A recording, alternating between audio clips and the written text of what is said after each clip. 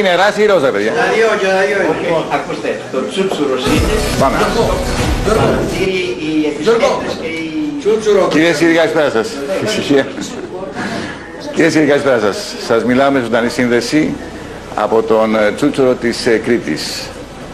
Ένα, μια πανέμορφη περιοχή στα νότια του νομού Ηρακλείου, δίπλα από τη θάλασσα. Και είμαστε εδώ πέρα γιατί είναι ένα σημείο της Ελλάδας που έχει πάρα πολύ μεγάλο ενδιαφέρον. Καταρχήν έχει ε, αποκαλυφθεί ότι μιλάμε για ένα έντονα ενεργεια- ενεργειακό μέρος. Από εκεί και πέρα υπάρχουν ε, μαρτυρίες για κάποια μεταφυσικά ανεξήγητα φαινόμενα, θα τα δούμε. Είναι σίγουρο εδώ πέρα οι Αμερικανοί έχουν κάνει πολύ μεγάλες έρευνες, κυρίως στα αστερούς που είναι ακριβώς πάνω από τον Τσούτσουρο και έχουν βρει λέει κάποια αντικείμενα τα οποία πήραν μαζί τους στην Αμερική, τα χρησιμοποιούν μιας άγνωστης τεχνολογίας. Αλλά υπάρχει και ένα πάρα πολύ μεγάλο θέμα με έναν αρχαιολογικό θησαυρό που βρίσκεται μέσα στις πηγές ε, των αστερουσίων ωραίων, εδώ στο Τσούτσουρο. Θα έλεγα ότι είναι ένας μυθικός κόσμος ουσιαστικά. Ένας κόσμος που περιλαμβάνει πολλά ευρήματα από χρυσή λάρνακα, όπως υπάρχει μια μαρτυρία, μέχρι σαρκοφάγο, μέχρι ε, ευρήματα πάρα πάρα πολύ σημαντικά, τα οποία κάποια έχουν βγει και χαθήκανε, κάποια έχουν βγει και είναι σε κάποιες αποθήκες του Μουσείου Ηρακλείου και κάποια άλλα που έχουν βγει έχουν εξαφανιστεί πιθανότατα στα χέρια κάποιων ανθρώπων. Θα έλεγα λοιπόν ότι η σημερινή μας εκπομπή έχει ακριβώς αυτά τα δύο σκέλη. Το ένα είναι το μεταφυσικό και ανεξήγητο των όσων συμβαίνουν εδώ στο Τζούτσουρα, μαρτυρίες για ε, φαινόμενα στη θάλασσα, στα βουνά επάνω. Και το άλλο είναι για αυτόν τον μυθικό κόσμο. Αυτό το μυθικό κόσμο που αποκάλυψε ο κύριος Μανώλης Κεφαλάκης που έχω δίπλα μου. Του έχω δώσει το όνομα ο Έλληνας Ινδιάνα Τζόνς. Είναι ένας άνθρωπος που από την παιδική του ηλικία άρχισε να κατεβαίνει μέσα στις σπηλιές των βουνών, μέσα στις σπηλιές του Τσούτσουρου. Σπηλιές μεγάλες, σπηλιές που κρύβουν έναν μυθικό κόσμο, όπως λέει ο ίδιος. Το ερώτημα είναι εάν όσα καταγράφει σε ένα ημερολόγιο που έχει βρει είναι πράγματι έτσι ή δεν είναι. Εγώ θα έλεγα ότι ακόμη και το 1 δέκατο να είναι αυ- από αυτά που λέει ο κ. Ε, Κεφαλάκης μια πραγματικότητα, θα έπρεπε ήδη να έχει γίνει μια πολύ μεγάλη έρευνα μέσα στις σπηλιές του Τσούρου. Έχουμε λοιπόν πολλά να σας πούμε και πολλά να σας δείξουμε. Η σύνδεση θα είναι αμφίπλευρη. Εγώ θα είμαι εδώ, σε ζωντανή σύνδεση, με πάρα πολύ κόσμο από τον Τζούτσουρο. Εσείς θα παρακολουθείτε την εκπομπή και από εδώ, από την Κρήτη, αλλά και από την Αθήνα. Στο πλατό, στο στούντιο της εκπομπής βρίσκεται ο Γιάννης ε, ο, το Μούτσος με την Όλγα Τάντου. Και τους Καλησπέρα καλεσμένους λοιπόν και εκεί. από Έχουμε την ένα- Αθήνα. Καλησπέρα σας και από Γεια εμάς σας. στην κάνουμε. Αθήνα. Όλα εκεί Ωραία, πέρα μια βαίνουν χαρά, καλώς. φυσικά. Ή τα κάνουν οι σύντεκνοι. Ε, και θα σας πω ότι έχουμε και ένα πολύ πλούσιο ρεπορτάζ από την περιοχή αυτή, από τα φαινόμενα που υπάρχουν, από τους αρχαιολογικούς θησαυρούς, από τις έρευνες του κυρίου Κεφαλάκη με τις σπηλιές. Θα τα δούμε όλα αυτά στην συνέχεια της εκπομπής. Πάμε στο πρώτο μας διαφημιστικό διάλειμμα, να έχουμε μια ώρα μετά ελεύθερη, δική μας, να κάνουμε το μεγάλο αυτό ταξίδι. Έχει λοιπόν μια, έχει λοιπόν μια ιδιομορφία η σημερινή εκπομπή για τις πύλες των εξήγητου. Είναι η πρώτη φορά στην ιστορία της εκπομπής αυτής μετά από τέσσερα χρόνια που βρίσκομαι εκτός στούντιο Αθηνών. Είμαι στην Κρήτη λοιπόν, στο Τζούτσουρο, σε μια ζωντανή σύνδεση, από μια περιοχή που για μένα έχει τρομακτικό ενδιαφέρον. Δεν είναι τυχαίο που είμαι εδώ α, για να σας παρουσιάσω α, ό,τι συμβαίνει στην περιοχή. Και αυτά που συμβαίνουν στην περιοχή είναι θα έλεγα α, κάτι πολύ ξεχωριστά ε, γεγονότα. Το ένα είναι στο επίπεδο του ανεξήγητου. Το άλλο είναι στο επίπεδο του αρχαιολογικού θησαυρού. Γιατί όπως θα δείτε στην πορεία της εκπομπής, κατά τον κύριο Κεφαλάκη που έχει τεβεί σε αυτές τις σπηλιές, υπάρχει ένας μυθικός κόσμος. Α, Έχει δει φοβερά πράγματα, τα έχει καταγράψει σε ένα ημερολόγιο, έχει ειδοποιήσει τους αρχαιολόγους, Κάποιοι μπήκανε, κάποιοι φύγαν γρήγορα, κάποιοι απαξίωσαν τις μαρτυρίες τους, τις μαρτυρίες του. Εκείνο που έχει σημασία μεγάλη είναι σήμερα το βράδυ να δώσουμε απαντήσεις σε κάποια ερωτήματα που υπάρχουν στην περιοχή αυτή. Και θα ήθελα τώρα να πάμε στο στούντιο της Αθήνας, εκεί πέρα είναι ο Γιάννης ο Μούτσος και η Όλγα Ιτάντου, να, συνεχίσουν, ε, να συνεχίσουμε μαζί την εκπομπή τη σημερινή. Ναι, Γιάννη, σε ακούω. Τα ερωτήματα λοιπόν τα οποία θα μας απασχολήσουν στην εκπομπή την απόψινή είναι πάρα πολλά. Και ξεκινάμε αμέσως με το πιο σημαντικό αν θέλετε. Τι ήταν αυτά τα οποία είδε ο κύριος Κεφαλάκης στις σπηλιές και τι απέγιναν αν θέλετε τα ευρήματα; Τι ερευνούσαν με τόση απόλυτα οι στρατιωτικοί Αμερικανοί και δεν ξέρουμε βεβαίως τι γίνανε όλα αυτά τα οποία βρήκανε. Τι ήταν εκείνα τα οποία πήραν μαζί τους. Πού πήγανε, πού καταλήξανε. Βεβαίως θα δούμε και άλλα πολλά πράγματα Και το πιο σημαντικό, αν θέλετε, επίσης είναι πού βρίσκονται τώρα οι αρχαιολογικοί θησαυροί αυτοί, για τους οποίους κανείς δεν έχει αναφέρει ούτε που πάρθηκαν, ούτε και που έχουν καταλήξει. Όλγα; Βέβαια, Γιάννη, κάποια από αυτά τα ερωτήματα ελπίζουμε ότι απόψε θα βρουν την απάντησή τους με βάση τη δημοσιογραφική έρευνα που έχει γίνει, αλλά και τους εκλεκτούς καλεσμένους που έχουμε κοντά μας στο στούντιο. Ξεκινάμε από τον κύριο Γιάννη Φουράκη. Καλησπέρα σας. Καλησπέρα σας. Συγγραφέας, γνωστός σε όλους σας, δεν χρειάζονται περισσότερες συστάσεις. Είναι ο κύριος Ευάγγελος Μπεξής, αρχαιολόγος και εκδότης των περιοδικών Άουτον και Ιχόρ. Και είναι το πρώτο τεύχος του Άουτον που κυκλοφορεί ε, σήμερα ε, από την πρώτη μήνα σε όλα τα περίπτερα και μετά το τε πέρας εκπομπής μπορούμε να χαρίσουμε στους Θα το φίλους και τις φίλες Καλή που είναι επιτυχία, εδώ. Πολύ ωραία. Πολύ επιτυχ- καλή Σας επιτυχία στο ευχαριστούμε έργο πάρα πολύ. σας. Πάνω Είναι στο ο έργο κυ- της αναζήτησης είναι βεβαίως, έτσι και της έρευνας στο πρώτο. Είναι ο κύριος Άγγελος Βιανίτης δίπλα του, ψυχολόγος ψυχοθεραπευτής. Είναι γνωστός σε εσάς από τις έρευνες που μας βοηθάει σε ό,τι έχει να κάνει με τα όνειρα. Και σε αυτό το κομμάτι θα βοηθήσει απόψε, αλλά και η καταγωγή σας είναι από την Νότια Από τη Κρήτη. Βιάννο. Ωραία. Είναι δίπλα το κύριο Ραδάμανθης Αναστασάκης, διδάσκον Πανεπιστημίου και διευθυντής του Ιδιοθεάτρου. Θα μας Καλησπέρα. βοηθήσει πάρα πολύ στην αρχαία ελληνική γραμματεία. Καλησπέρα σας. Και στο τέλος είναι ο κύριος Απόστολος Αντωνάκης, δημοσιογράφος στον Ελεύθερο Τύπο. Και επίσης έχετε ασχοληθεί πάρα πολλά χρόνια με τα φαινόμενα τα ανεξήγητα που συμβαίνουν στο Τζούτσουρο. Και καταγωγή από εκεί Και επίσης. καταγωγή από εκεί. Μάλιστα. Βλέπω λοιπόν ότι έχει μια πάρα πολύ καλή παρέα εκεί στην ε, Αθήνα. Θα μας βοηθήσουν ε, πολύ οι καλεσμένοι μας να προσεγγίσουμε το θέμα αυτό. Α, να σας πω ότι μπορείτε και εσείς να επικοινωνείτε μαζί μας από το τηλέφωνο 210 57 που οι συνεργάτες μου είναι στα τηλέφωνα. Πιθανότατα να έχει να μας πείτε πολλά και να μας ρωτήσετε αρκετά για τη σημερινή μας εκπομπή που έχει ένα πολύ ξεχωριστό ενδιαφέρον. Α, θα ακούσετε κυρίες και κύριοι σήμερα το βράδυ για την ύπαρξη ενός άγνωστου, θα έλεγα μυθικού κόσμου στις ε, σπηλιές των α, α, βουνών εδώ πέρα, α, α, πάνω ακριβώς από τον Τσούτσουρο. Ε, ο άνθρωπος που φέρνει το θέμα ε, μπροστά μας είναι ε, ο κ. Κεφαλάκης που κάθεται δίπλα μου. Ένας άνθρωπος ο οποίος έχει αμφισβη- α- α- α- αμφισβητηθεί πάρα πολύ. Ε, κάποια στιγμή φτάσαν να τον βγάλουν ε, ακόμη και τρελό και γραφικό προκειμένου αυτή η ιστορία να μην προχωρήσει. Δεν ξέρω τι σκοποί και τι λόγοι υπήρξαν για να μην προχωρήσει η έρευνα σε αυτές τις σπηλιές μέσα, γιατί κατά τον κύριο Κεφαλάκη εκεί πέρα κρύβεται και υπάρχει ένας αμύθιτος αρχαιολογικός θησαυρός. Δεν ξέρω ποια συμφέροντα απέκλεισαν αυτή την έρευνα, θα τα δούμε και αυτά στη σημερινή μας εκπομπή, αλλά πρέπει να σας πω ε, ότι οι μαρτυρίες είναι πολλές για έρευνες Αμερικανών επιστημόνων εδώ στην περιοχή, ε, όπου λένε ότι βρήκαν και πάρα πολλά στοιχεία και ενδείξεις για μια τεχνολογία άγνωστη σε όλους μας, την οποία έχουν πάρει μαζί τους. Όλα αυτά θα δούμε σε ένα πλούσιο ρεπορτάζ που έχουμε ετοιμάσει για σας και να ξεκινήσουμε αυτό το μεγάλο ταξίδι, ακούγοντας έτσι δύο πρώτες μικρές μαρτυρίες από τον κύριο Κεφαλάκη και από τους ανθρώπους που τον βοήθησαν στο έργο αυτό.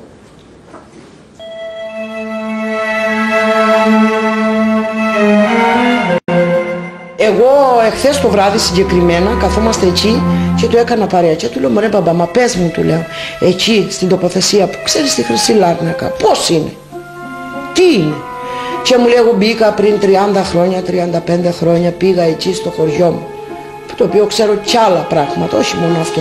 Αλλά αυτό είναι το πιο εύκολο να βγει να το δουν να πιστούν. Και πήγα μου λέει εκεί πέρα.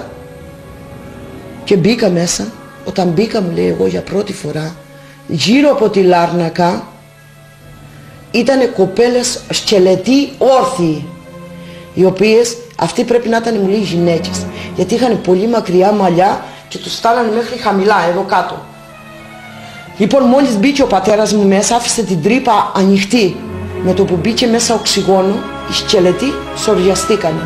Γιατί ήρθαν επαφή το οξυγόνο με τα οστά και επειδή είναι πολύ καιρό γίνανε στάχτη. Τώρα μέσα η, η Λάρνακα έχει μέσα βιβλία.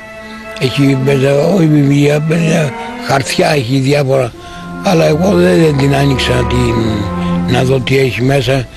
Είπα λέω μήπως έχει καμιά μια τεχνική τίποτα πανουργία τίποτα όπως στην Αίγυπτο Φερπίν που όσοι πήγανε και την ανοίγανε την πυραμίδα Φερρυπίν επομένανε και εκεί διότι τους έπιανε κάποιο μικρόβιο, κάποιο ο, που δεν έκανε και το πρωί δεν υπήρχαν. Δηλαδή ένα φάρμακο και πεθαίνανε. Και και φοβήθηκα μήπως έχει τέτοιο Πίσω μας ακριβώς βρίσκονται τα αστερούσια όρη. Μου αναφέρατε όμως ότι κάτι περίεργο συμβαίνει με τη συγκεκριμένη περιοχή. Ε, ναι, συμβαίνει. Ε, μίλησα με κάποιους ανθρώπους οι οποίοι είχαν ε, ε, με το δορυφόρο ε, πάρει κάποιες εικόνες τα νότια βουνά της Κρήτης ε, και βλέπουν ότι πάνω από, τα, από την παραλιακή πλευρά της Κρήτης στο νομό Ηρακλείου ε, από το Τζούτσουρα μέχρι περίπου το, στον Κουδουμά για όσους ξέρουν την περιοχή ε, υπάρχει μία σκιά σαν είδος ομίχλης ας πούμε η οποία δεν αφήνει να είναι ορατά τα βουνά τα παραθαλάσσια αυτά ίσως να θέλουν να κρύψουν κάτι.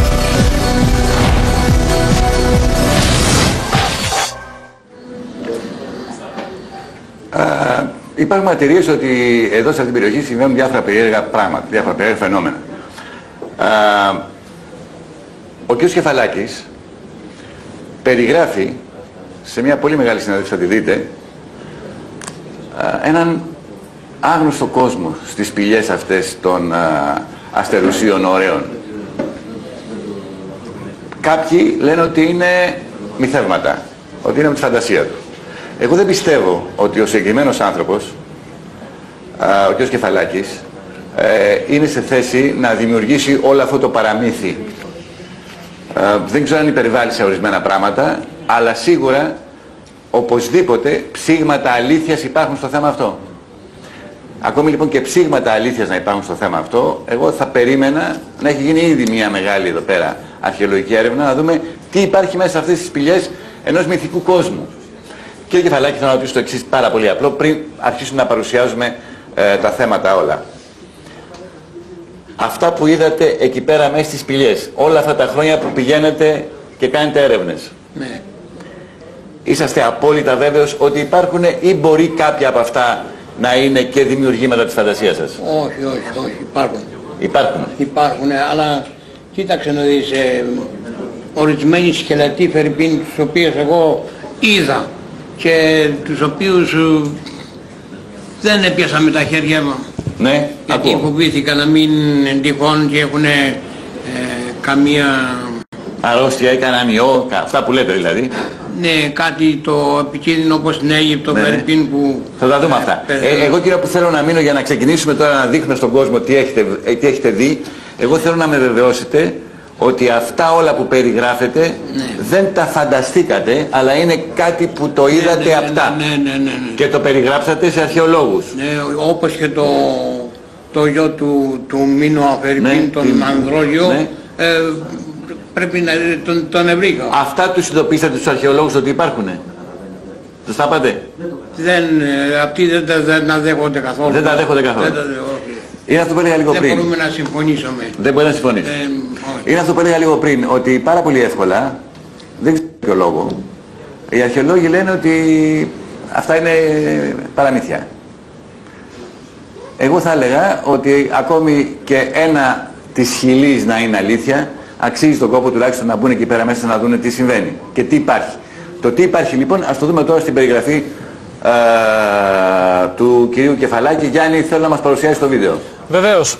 Όπως ακούσατε, ο κύριος Κεφαλάκης θα μας περιγράψει πάρα πολλές λεπτομέρειες για το τι ακριβώς είδε στις σπηλιές που ερευνούσε για πάρα πολλά χρόνια. Περιγράφει με μοναδικό τρόπο έναν μυθικό κόσμο.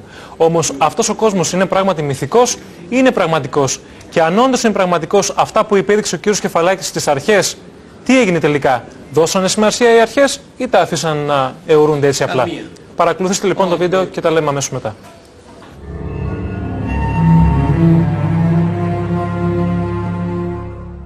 Πόσο χρονών ήσασταν όταν ξεκινήσατε να ψάχνετε εδώ στο Τζούτσουρα τι συμβαίνει; Ε, τώρα δεν θυμάμαι τώρα επακριβώς, αλλά θυμάμαι ότι έχω κάνει τα, και τα παιδικά μου χρόνια εδώ και μάλιστα ε, πέρασα πολλές φορές από το δέντρο αυτό το μεγάλο, τη χαρουπιά αυτή η οποία είναι ιστορικότατη, έχει μεγάλο ενδιαφέρον και τώρα ιστορία δεν μπορεί να την καταλάβει ο άνθρωπος εάν δεν ερευνήσει πρώτα γύρω γύρω από τη Χαρουπιά να δει τα έργα, τα έργα τα οποία είναι από παλιά, από την μινοϊκή εποχή ε, φτιαγμένα. Τι έργα έχει εκεί γύρω; Έχουν κοπεί βράχοι και είναι κομμένοι ε, ε, με, με σμήλα, με, ειδικές, με ειδικά κοπίδια και είναι λαξευμένοι τεχνικά και επιτίδια αλλά πολύ τέχνη. Μετά ε, έχει ενταφιαστεί ο γιος του Μίνωα εκεί στη Χαρουπιά.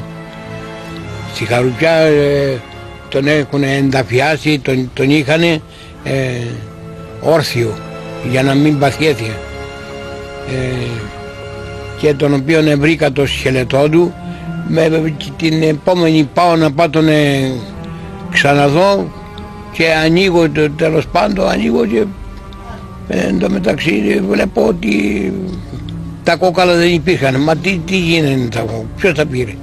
Και διαπίστωσα ότι δεν τα πήρε άνθρωπος αλλά ελιώσανε. Δηλαδή όταν τους εκτύπησε ο αέρας ε, τους εκτύπησε, ε, ελιώσανε. Τι σας οδήγησε εσάς εκεί; Ο, είχε μια κλιματαριά και ανέβαινα πάνω και έτρωγα τα σταφύλια και διαπίστωσα και βλέπω ένα κόκαλο. Μετά βλέπω άλλο, άλλο, άλλο και βλέπω ολόκληρο τον, το, το σκελετό δηλαδή ενός νέου 18 ο, έως 20 ετών. Εκεί γύρω τι άλλο βρήκατε; Ε, βρήκα και ένα δυο ο, παραπάνω. Τρεις γυναίκες περίπου εκεί ενταφιασμένες γύρω γύρω εκεί. Ήτανε ενταπιαστήκαν τρεις γυναίκες εκεί.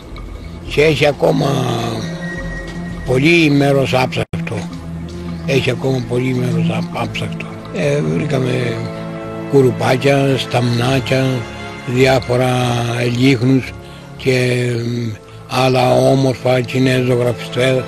Ε, ε, και αγαλματάκια χάλκινα.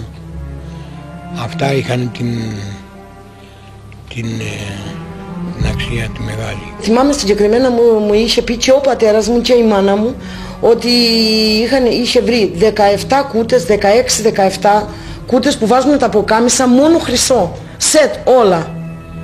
Ε, η, η, μητέρα μου ε, μόνο, το μόνο που της έκανε τόσο πολύ εντύπωση ήταν ένα χρυσό βραχιόλι σετ το οποίο ήταν ένα, ένα φίδι που έμπαινε όπως, το, όπως τη μανίκα που βάζουμε την μπλούζα έμπαινε από το χέρι το, το κεφάλι ήταν εδώ πάνω και το, η ουρά του φιδιού εδώ κάτω και το ίδιο και στο λαιμό το ίδιο και σκουλαρίκια, φίδι ε, και δαχτυλίδια, δύο δαχτυλίδια με φί, φίδια και είχαν βρει και πώς τα λένε και αγάλματα. Γιατί εκεί πέρα ήταν η σπηλιά της ηλικίας που κάποια δεν έκανε παιδί πήγαινε εκεί πέρα και είχαν βρει αγάλματα με έγκυος γυναίκες χάλκινα γάλματα με γυναίκα και κρατούσε το μωρό και το θύλαζε. Άντρες αγάλματα. Είχε βρει μια χρυσή κλωσού ο πατέρας μου με κλωσόπουλα ρόδια χρυσά και πολλά άλλα τα οποία φορτωθήκανε μες στα αυτοκίνητα και φύγανε. Τα πήρανε από εδώ. Πήγαμε με τον πατέρα μου μετά από χρόνια στο μουσείο σαν παιδιά του να μας δείξει αυτά γιατί ο πατέρας μου έφαγε 7 χρόνια φυλακή εξορία. Μας άφησε τρία παιδιά πίσω και έφυγε και τον είχαν εξορία μωρά. Εγώ ήμουν η πιο μεγάλη.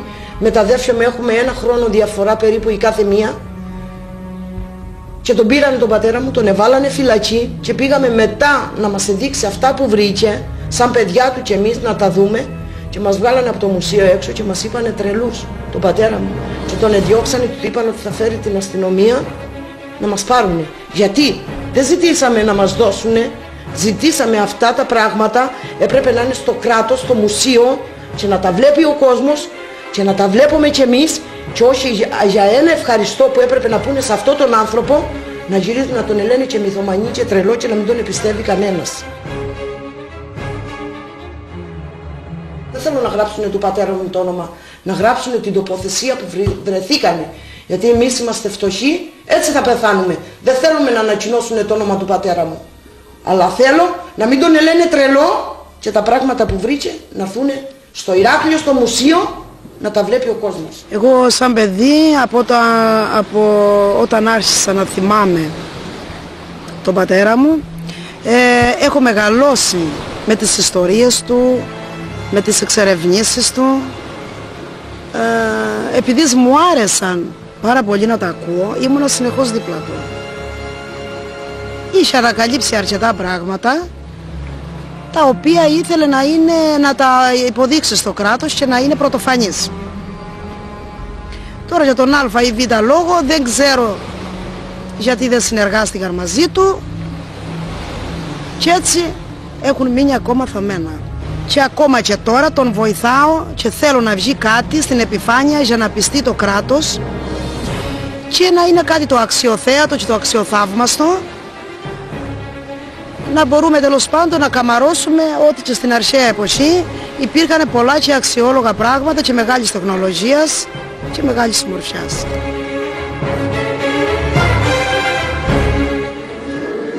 Σπήλαια, αρχαιολογικά ευρήματα, ενέργεια, ένα μυστήριο που καλύπτει την περιοχή του Τσούτσουρε, κύριε Φουράκη. Ναι. Τι ήταν όμως αυτό που εδώ και τόσο πολλά χρόνια ελκύει τους Αμερικανούς, επισκέπτονται το νησί, κάνουν τις δικές τους έρευνες; Ε, όσον αφορά τους Αμερικανούς να πάτε να βρείτε τον ντέραρχο, τον κύριο Σκαρμαλιοράκη ζει και βασιλεύει, αυτός ξέρει, αυτός πήγε με τους Αμερικανούς και πήραν ό,τι πήρανε. Από εκεί και Ένα πέρα, λεπτό, ένα λεπτό, ένα λεπτό να παρέμβω, Ναι. να, ρεφε- να παρέμβω διότι ακούστηκε ένα όνομα από τον κύριο Φουράκη που ο κόσμος πιθανότατα να μην το ξέρει. Ναι. Ο κύριος Καρμαλιοράκης λοιπόν, να πούμε ότι ήταν ε, στην ΚΙΠ παλιότερα, έτσι δεν είναι κύριε αξιωματικός Φουράκη; αεροπορίας, ναι. Αξιωματικός Αξιωματικός αεροπορίας. Ο ναι. οποίος συνόδευσε, Ε, συνόδευσε τους Αμερικανούς τότε την πρώτη αποστολή ε, και, και μέχρι τον Τζούστολο και πήραν ό,τι πήρανε. Αυτά που λέει ότι βρήκε ο κύριος Μανώλης. Κεφαλάκης. Ο κύριος Κεφαλάκης. Ε, κύριε Φουράκη, ένα λεπτό. Ε, ε, οι Αμερικανοί που έχουμε εμπειρίες πολλές ότι είχαν εμφανιστεί εδώ πέρα για αρκετά χρόνια και ψάχνανε, Ναι. ε, φαντάζομαι ότι δεν ενδιαφερόντουσαν μόνο για τα αρχαία ή, ή για τα αρχαία, ενδιαφερόντουσαν και για άλλα Ο, ακριβώς ε, γι' αυτό. πράγματα που θέλαν. Γι' αυτό ήθελα, Ακριβώς γι' αυτό δεύτερο. ήθελα να ρωτήσω... Ποιο είναι αυτό, Θα ποιο είναι σας το πω κεντρικό μετά, ενδιαφέρον; Κατά την άποψή μου. Αυτό που ήθελα να ρωτήσω αν ξέρουν τώρα πρόσφατα, αυτά τα τελευταία χρόνια, εμφανίσαν τέτοιες ομάδες Αμερικανών ή Άγγλων ή Ο- Ολλανδών να κάνουν κάποιες έρευνες. Γεωλογικές ή Ένα λεπτό αστροφυσικές. να ρωτήσω εδώ πέρα κάποιους ανθρώπους οι οποίοι μπορεί ίσως να ξέρουν. Ε, διότι Το ερώτημα από πράγματι... την Αθήνα, το ερώτημα από την Αθήνα είναι το εξής. Εάν εσείς εδώ πέρα σαν κάτοικοι της περιοχής έχετε δει τα τελευταία χρόνια να γίνονται κάποιες έρευνες εδώ στα στερούσια όρη ή στην περιοχή σας από ξένες ομάδες, όχι Ελλήνων. Έχει δει κανείς, έχει εντοπίσει κανείς μια τέτοια κίνηση; Εδώ στη σπηλιά Ναι. ε, έχουν εντοπίσει ότι κατεβαίνουν με σκοινιά και την ε, σκάφουν Ναι. και έχουν σκάψει αρκετά μεγάλο Ξένοι, μέρος. ξένοι. Τώρα δεν ξέρω. Ξένοι δεν ξέρω. Πάτε το μικρόφωνο σας παρακαλώ πάρα πολύ. Δώστε το μικρόφωνο εκεί πέρα στην κυρία. Ναι. αναδιαστήματα έρχονται περίεργοι άνθρωποι με ένα σακίδιο στον νόμο που κινούν την περιέργεια. Εμένα Αυτό πολλές μπορεί να, είναι, φορές. μπορεί να είναι τουρίστες, μπορεί να είναι οτιδήποτε. Εγώ μιλάω για μια, αν έχετε παρατηρήσει, μια οργανωμένη κίνηση ή μια Οργανωμένη οργανωμένη κίνηση προσπάθεια όχι, τα αλλά τελευταία κανείς χρόνια. δεν ξέρει.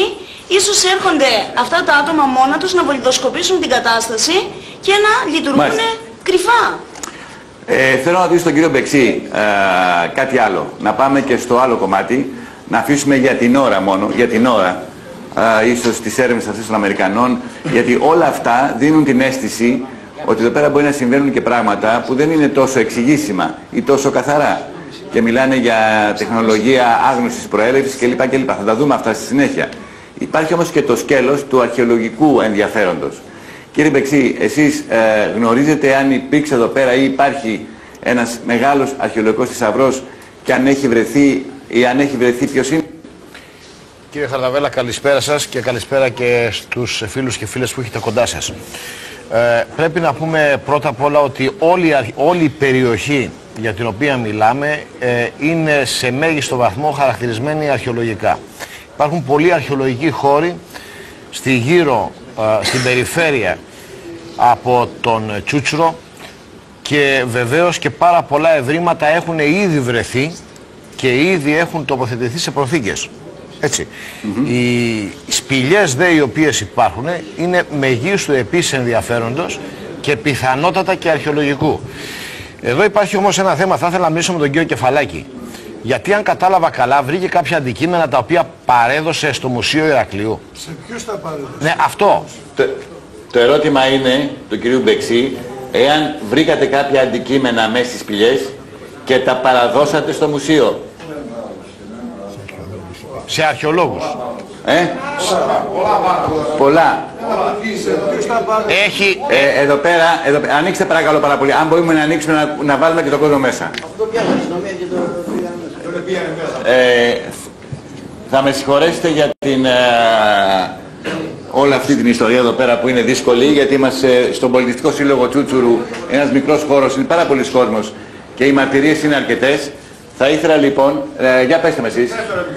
Για πέστε μου, τι έγινε; Εγώ, κατα... επειδή είναι Να εξάδελφος... σας ακούμε φωναχτά. Επειδή είμαι πολλά χρόνια εδώ πέρα. Ναι, ναι, ναι, να ακούμε.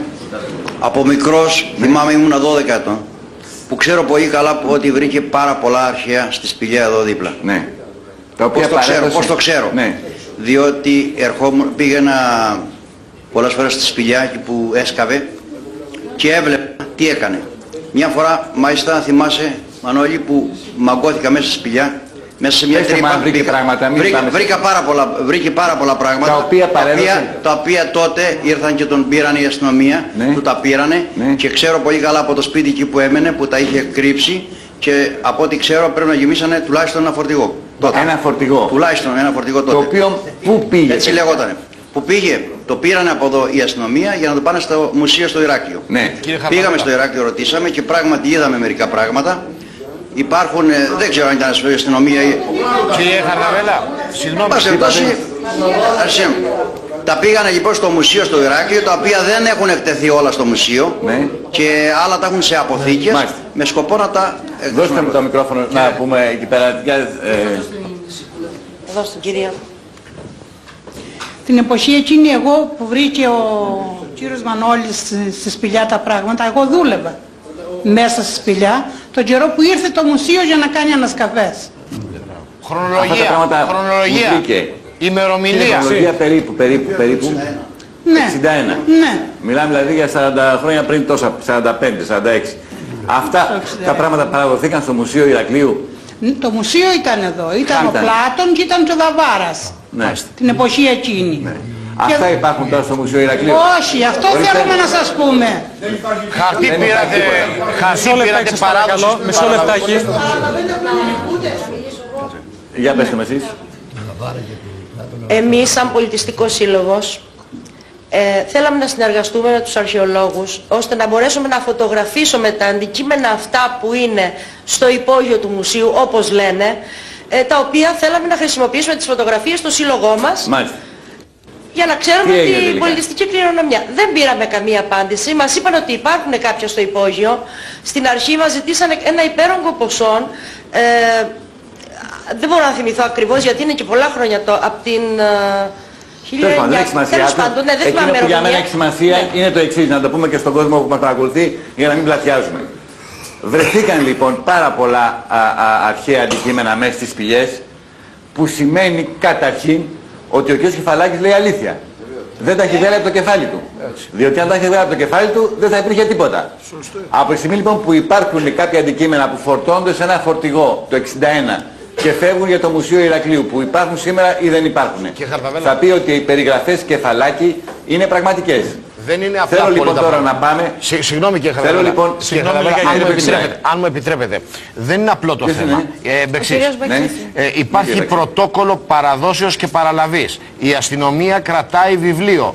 Αυτά όλα πρέπει να έχουν καταγραφεί και να ξέρουμε ποιος παρέλαβε, πότε παρέλαβε και πού βρίσκονται. Δηλαδή δεν Μα- είναι απλά τα Κύριε θέματα. Μπεξή, δεν είναι ένα φορτηγό Κύριε που βρήκε. Μπεξή, δεν είναι καθόλου απλά τα θέματα Η έρευνα που έχουμε κάνει έχει πάει και στο Μουσείο Ηρακλείου να βρούμε κάποια από όλα αυτά τα πράγματα. Σας πληροφορώ Τα σπουδαιότερα ότι είναι τόσο πέταξαν, μπερδεμένα κύριε τα πράγματα. Χαρδαβέλη. Έτσι, αυτό. τόσο μπερδεμένα τα πράγματα που μιλάνε για κάποιες σκούτες που πήγανε. Τα σπουδαιότερα πέταξαν κύριε Χαρδαβέλα, πέταξαν τα, Ορίστε. σπουδαι... τα σπουδαιότερα ευρήματα δεν πήγανε ποτέ στο μουσείο. Έφυγαν. Μάλιστα. Λοιπόν, Να ε, κάνω μια- ε, ας πάμε λίγο παρακάτω όμως, για να μην μείνουμε μόνο στο ζήτημα του αρχαιολογικό. Α, εμένα αυτό που με καλύπτει αυτή τη στιγμή είναι ότι εφόσον υπάρχουν όλα αυτά τα ευρήματα, θα πει ότι αυτός ο άνθρωπος που έχει έντονα αμφισβητηθεί ως παραμυθατζής, ως φαντασιόπληκτος, ως τρελός, προφανώς λέει την αλήθεια. Άρα λοιπόν ας μείνουμε και ας ακούσουμε τώρα τι άλλα πράγματα βρήκε εκεί πέρα μέσα και τι συμβαίνει σε αυτή την περιοχή. Πάμε.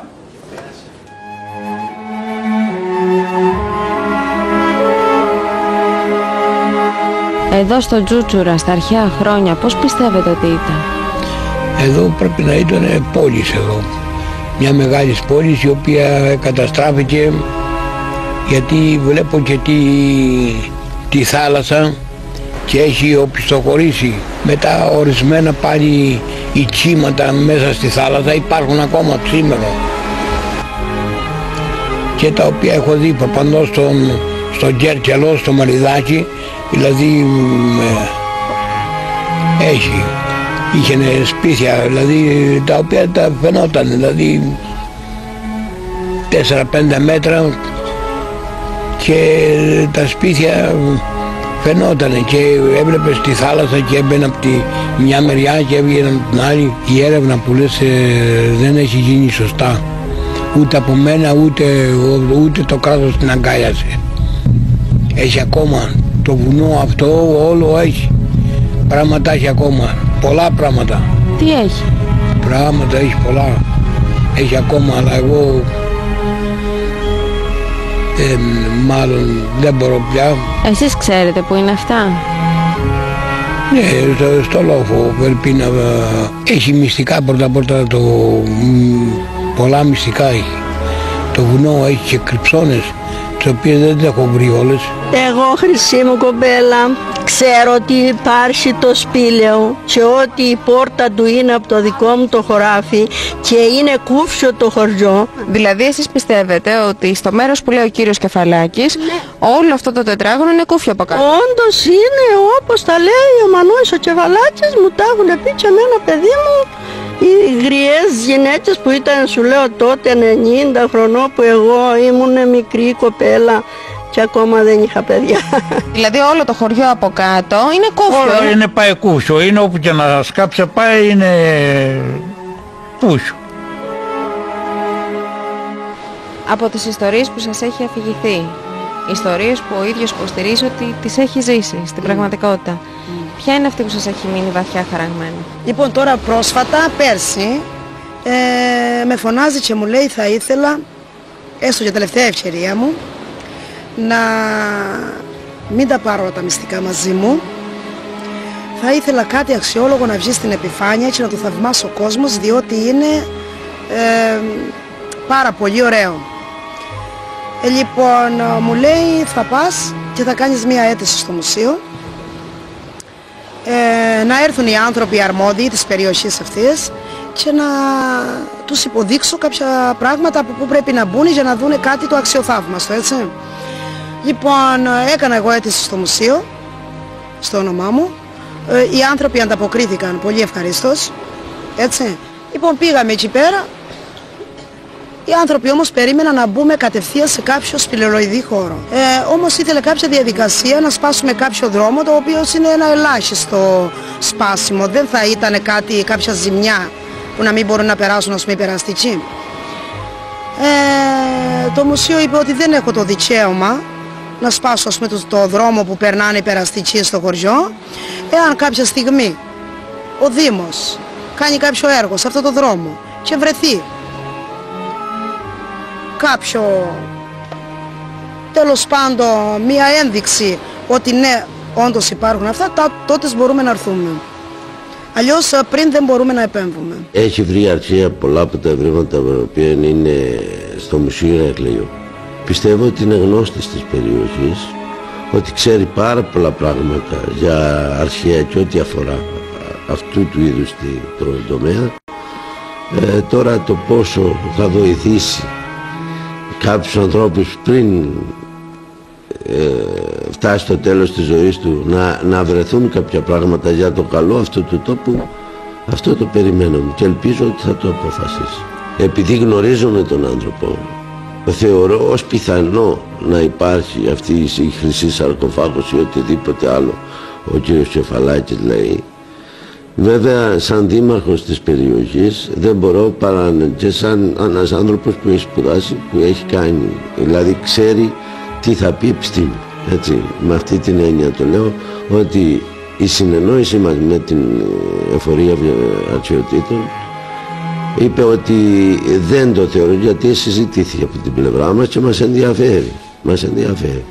Ε, ε, ελέγχθη ότι δεν θεωρεί αξιόπιστο την πηγή και ότι προς το παρόν δεν έχει τέτοιου είδους δυνατότητα.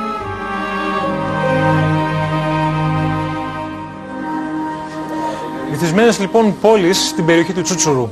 Αυτές οι πόλεις μπορεί να κρύβουν πολλά μυστικά και κάποια από αυτά για τα οποία θα ακούσουμε αμέσως μετά κύριε Αντωνάκη κάνουν λόγο για κάποια ανεξήγητα φαινόμενα και μάλιστα κάποιες θεάσεις πτάμενων αντικειμένων στην περιοχή του Τσούτσουρου. Εγώ θέλω να ρωτήσω, από την πλευρά σας γνωρίζετε πώς εξηγείται αυτή η θέαση τέτοιων υπτάμενων αντικειμένων και αν μπορούμε να γνωρίζουμε την προέλευση. Μιλάμε για κάτι το οποίο έχει να κάνει με Αμερικανούς ή κάτι το οποίο μπορεί να είναι απ' έξω από τη γη; Καταρχήν, ο κύριος Φουράκης έχει αναφερθεί και σε προσωπικές βιωματικές του εμπειρίες σε μια προγενέστερη εκπομπή που είχαμε κάνει για το ίδιο θέμα και το περιέγραψε με απόλυτη σαφήνεια του έδωσε και μεταφυσικό χαρακτήρα του ό,τι είδε εκεί πέρα. Εγώ θα ήθελα να μείνουμε λίγο πιο προσγειωμένοι γιατί ό,τι βλέπουμε δεν θα πρέπει κατά ανάγκη να είναι υπερφυσικό και αλόκοσμο. Πιθανόν να είναι κάτι που να προέρχεται από μια υπερσύγχρονη τεχνολογία η οποία δεν είναι γνωστή ακόμα σε εμάς. Και σε κάθε περίπτωση θα πρέπει να αναλογιστούμε το εξής. Η Κρήτη στα, αρχαία, στα πανάρχια χρόνια ήταν και είναι κοιτίδα του πιο μεγάλου πολιτισμού. Ε, η τεχνολογία η οποία χρησιμοποιήθηκε τα αρχαία χρόνια δεν είναι απαραίτητα η γνωστή σε εμάς. Αν μου επιτρέπετε, θα ακούσουμε κάποιες μαρτυρίες και από τον κύριο Κεφαλάκη αργότερα, αλλά και από κάποιους άλλους ανθρώπους, οι οποίοι μιλάνε ακριβώς για θεάσεις. Είναι πολύ συγκεκριμένο αυτό που ναι. σας ρωτάω. Στο σημείο αυτό λοιπόν, στο σημείο αυτό, να παρέμβω από την Κρήτη αν με ακούτε, ε, επειδή ο, ο, ο φίλος ο κ. Αντωνάκης είπε ότι ο κ. Φουράκης έχει και βιωματικές εμπειρίες και έχει ασχοληθεί ιδιαίτερα με το θέμα αυτό, θέλω να μας απαντήσει και να μας παρουσιάσει ο κ. Φουράκης αυτές τις εμπειρίες που έχει και αυτή τη γνώση που έχει. Θα μας κουβεντιάζουμε. Ε, όσο αφορά τη γνώση θα τη βρείτε μόνο στα τοπονύμια. Καταρχάς οι κάτοικοι εκεί πέρα ξέρουν από που παράγεται το τρισίδετο όνομα Τσούτσουρας. Για ρωτήστε να, να, να, ξέρει; Πολύ και σύντομα, το όνομα Τσούτσουρας, το όνομα Τσούτσουρας θέλω να μας το εξηγήσετε εσείς. Ναι. Μου είπατε, υπάρχει ένα ερώτημα, δεν ξέρω από κάποιον κύριο, α, για το από, τι, από πού προέρχεται το όνομα Τσούτσουρας. Κύριε Καρπατέρα, ο πατέρας μου ξέρει. Ναι. Ε, εσείς, το Τσούτσουρας από πού βγαίνει; Ναι, από τη λέγαση, ε, αυτός συμβολίζει ε, μπαμπάς και γιος μαζί. Μπαμπάς και γιος μαζί. Ναι. Ε, ναι. Τρεις θεότητες. Ε, κα... Τρεις Αιγυπτιακές θεότητες. Με τώρα, για πέστε με εσείς. Άρα λοιπόν το όνομα Τσούτσουρας... Λοιπόν, το όνομα Τσούτσουρας σημαίνει πατέρας και ιός Ρα. Πατέρας και ιός Ρα. Θυγατέρα και θυγατέρα ιός και, και Ρα. Έτσι ακριβώς είναι. Θυγατέρα Σούτσου. Άρα λοιπόν και αυτό δεν είναι τσούτσουρος, είναι τσούτσουρας. Σούσουρας. Ναι. Κύριε Φουράκη, όχι, ε, εγώ θα ήθελα, αν ε, μπορούμε να πούμε κάτι ναι. για αυτές τις ε, θεάσεις που περιγράφονται και θα τις ακούσουμε στη συνέχεια στο ρεπορτάζ που με κάνει. Εάν εσείς έχετε κάποια έτσι πληροφόρηση μεγαλύτερη. Όχι, δεν έχω προσωπική εμπειρία, δεν έχω. Κα, καταρχάς στην περιοχή δεν έχω πάει ποτέ. Στην περιοχή των αστερουσιών. Ε, και, και δεν μπορώ... ερευνήσει όμως το θέμα. Ε, το έχω ερευνήσει στα αρχαία κείμενα έτσι, και πανέρχομαι για λόγους ιστορικούς να αρχίσουμε να καταλαβαίνουμε στο όνομα. Το όνομα καθερώθηκε το 1940. Προσέξτε. Τώρα, χθες, το Το όνομα Τσούτσουρας καθερώθηκε το 1000 στην απογραφή το 1940. Το όνομα όμως προέρχεται από Αιγυπτίους. Από την κατοχή... Ναι, διότι Τι; ο Ρα ήταν... ε, Ο, ο, ο υπέρτατος Θεός. Θεός του ήλιου. Θεός των Αιγυπτίων. Ο γιος του ήλιου. Ο Θεός του Ο, ήλιου. ο, ο υπέρτατος Θεός. Ο υπέρτατος Θεός των Αιγυπτίων. Και ήταν, είναι δηλαδή ο, ο, ο δημιουργός, ο εθέρας και η γέα. Οι τρεις θεότητες. Η- Γι' αυτό ακριβώς σας είπα προηγουμένως, αν δείτε τη- την παράλληλο που είναι τα αστερούσια όρη, άλλο πράγμα Ναι. τι σημαίνουν αστερούσια όρη, θα δείτε ότι ανήκει στην Αίγυπτο. Είναι Αιγυπτιακό Ναι. κομμάτι. Και γι' αυτό το 850 μετά Χριστό που οι Αιγύπτιοι κατέλαβαν την Κρήτη και πήγαν στον Τζούτσουρα, από εκεί δώσανε ξανά το όνομα. Και εκείνοι ενεργοποίησαν και τότε το ναό της Ελιθίας και άρχισε νέα λατρεία. Αυτά Μάλιστα. όλα. Αν βάλουμε μια τελεία εδώ πέρα στα, στα, σε αυτή την ιστορική αναδρομή, γιατί θέλω να πάμε, Όλγα, Ναι, να ναι, στο δούμε το επόμενο επόμενο θέμα. βίντεο, σας παρακαλώ. Στο επόμενο θέμα μας μιλάει μία από τις κόρες του κυρίου Κεφαλάκη, είναι η κυρία Χριστίνα Κεφαλάκη. Μας αφηγείται ότι και η ίδια στην αρχή ήταν διστακτική, δεν πίστευε όσα έλεγε ο πατέρας της.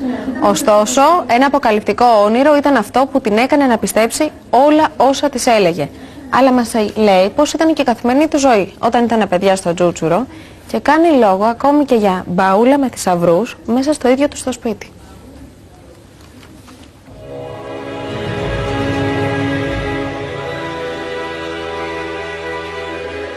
Από τα παιδικά μας χρόνια ακούγαμε αυτές τις ιστορίες. Στην πορεία της ζωής μας βιώσαμε κι εμείς κάποια πράγματα, κάποιες καταστάσεις.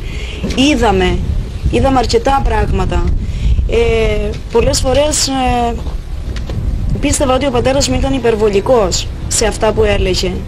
Προσπαθούσα όμως σαν παιδί να καταλάβω αν πραγματικά αυτά που λέει είναι αλήθεια.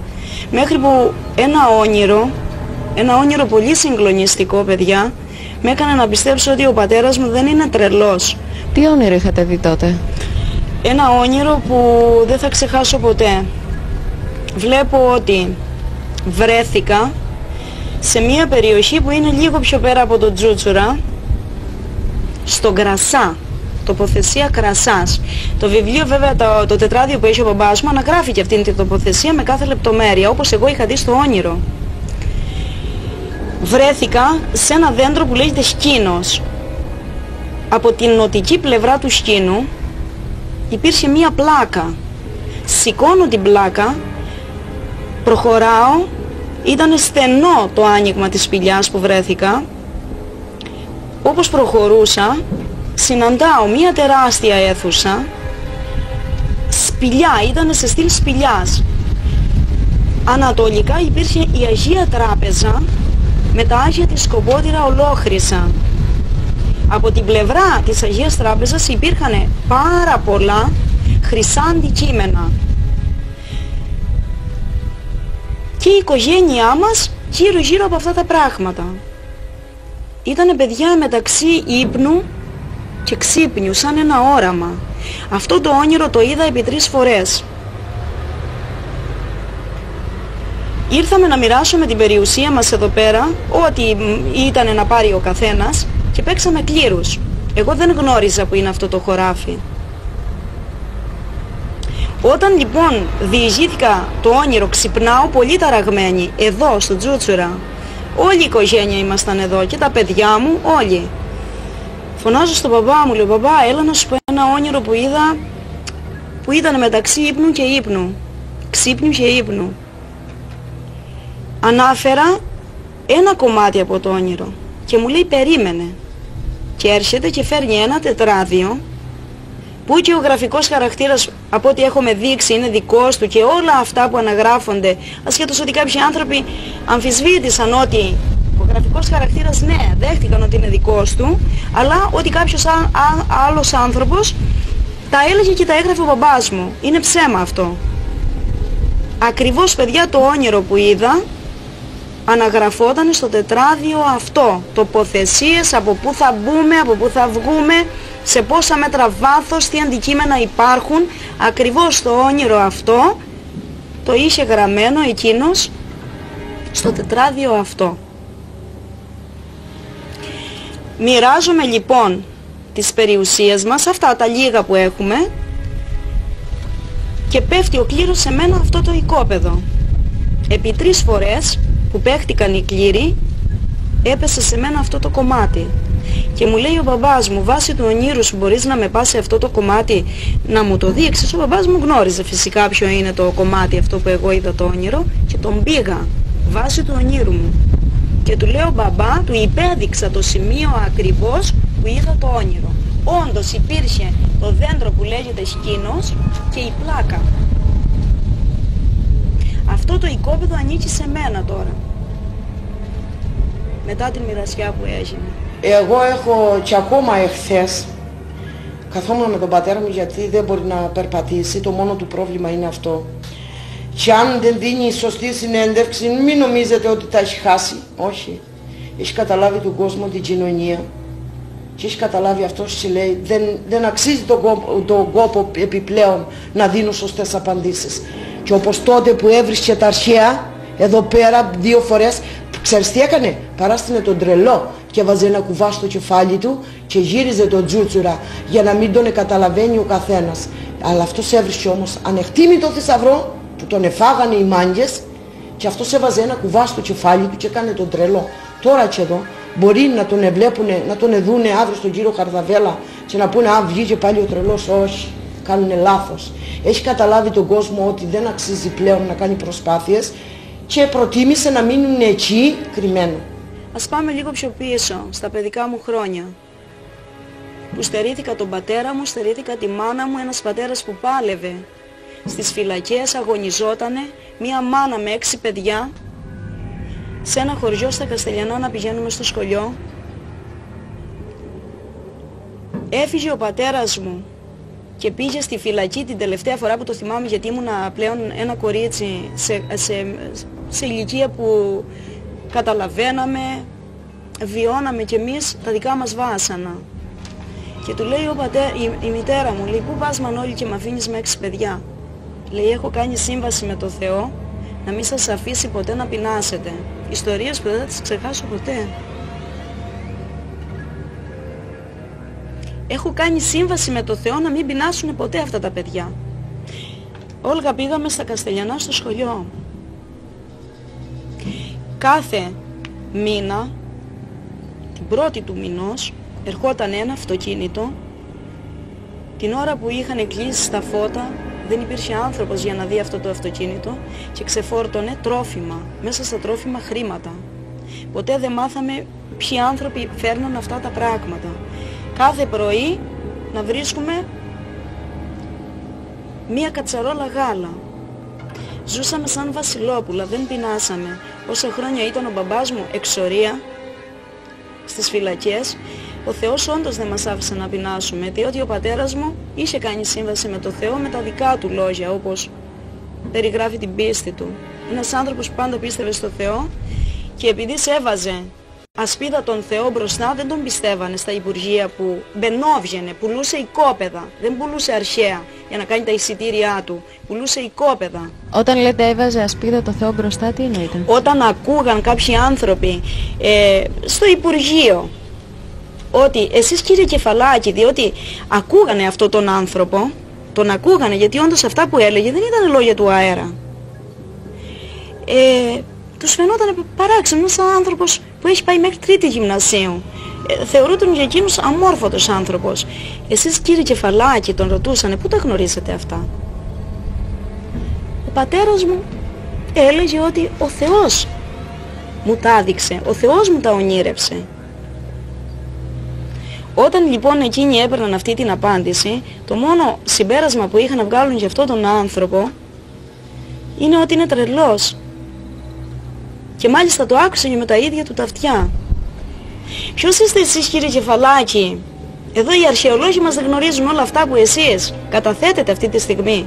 Εσείς που τα γνωρίζετε. Σας είπα ο Θεός μου τα ονείρεψε. Όλοι πίστευαν ότι είχε κάποιες περγαμηνές, ότι είχε κάποια, κάποιους χάρτες και βάσει αυτινών των στοιχείων βάδιζε ας πούμε και έβρισκε όλα αυτά. Είχε βρει πολλούς θησαυρούς Όλγα. Ε, μένανε σε ένα πολύ φτωχικό σπίτι, εδώ λίγο πιο πέρα. Ένα τεράστιο σπίτι, Δεν υπήρχαν καθίσματα, δεν υπήρχαν τραπέζια, δεν υπήρχαν τίποτα. Ήταν γεμάτο μπαούλα γύρω-γύρω το σπίτι. Και κουβέρτες επάνω καλυμμένα.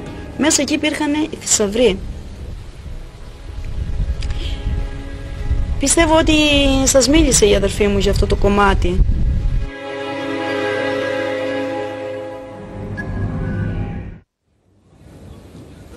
Λοιπόν, ε, ακούσαμε πάρα πολύ ενδιαφέρουσες ε, πληροφορίες Γιάννη, εδώ πέρα. ε, Ναι, ναι. Γιάννη, μισό λεπτό, με συγχωρείς. Με συγχωρείς, ένα λεπτό.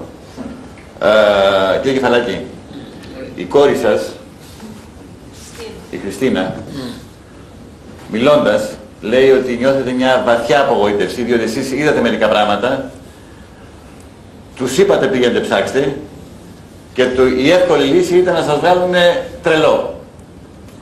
Αυτή η απογοήτευση και λέει μάλιστα ότι και μίλησε πριν από λίγο ένας δήμαρχος, πρώην δήμαρχος, τι ήταν ο κύριος ο δήμαρχος, ο δήμαρχος τωρινός.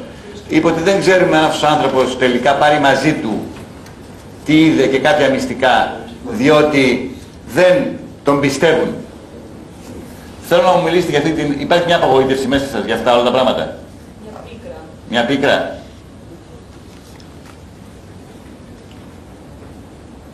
Ε, υπάρχει λίγο, αλλά... Γιατί δεν σας πιστέψανε, γιατί δεν σας πιστεύουν. Ε, μα με το ζώδιο θα πάω βάλω εγώ τον ένα και τον άλλο να πι- με πιστέψεις. Ε, αυτό είναι ζήτημα αντιλήψεως του κάθε ανθρώπου, του αλλού του συνανθρώπου. Ναι.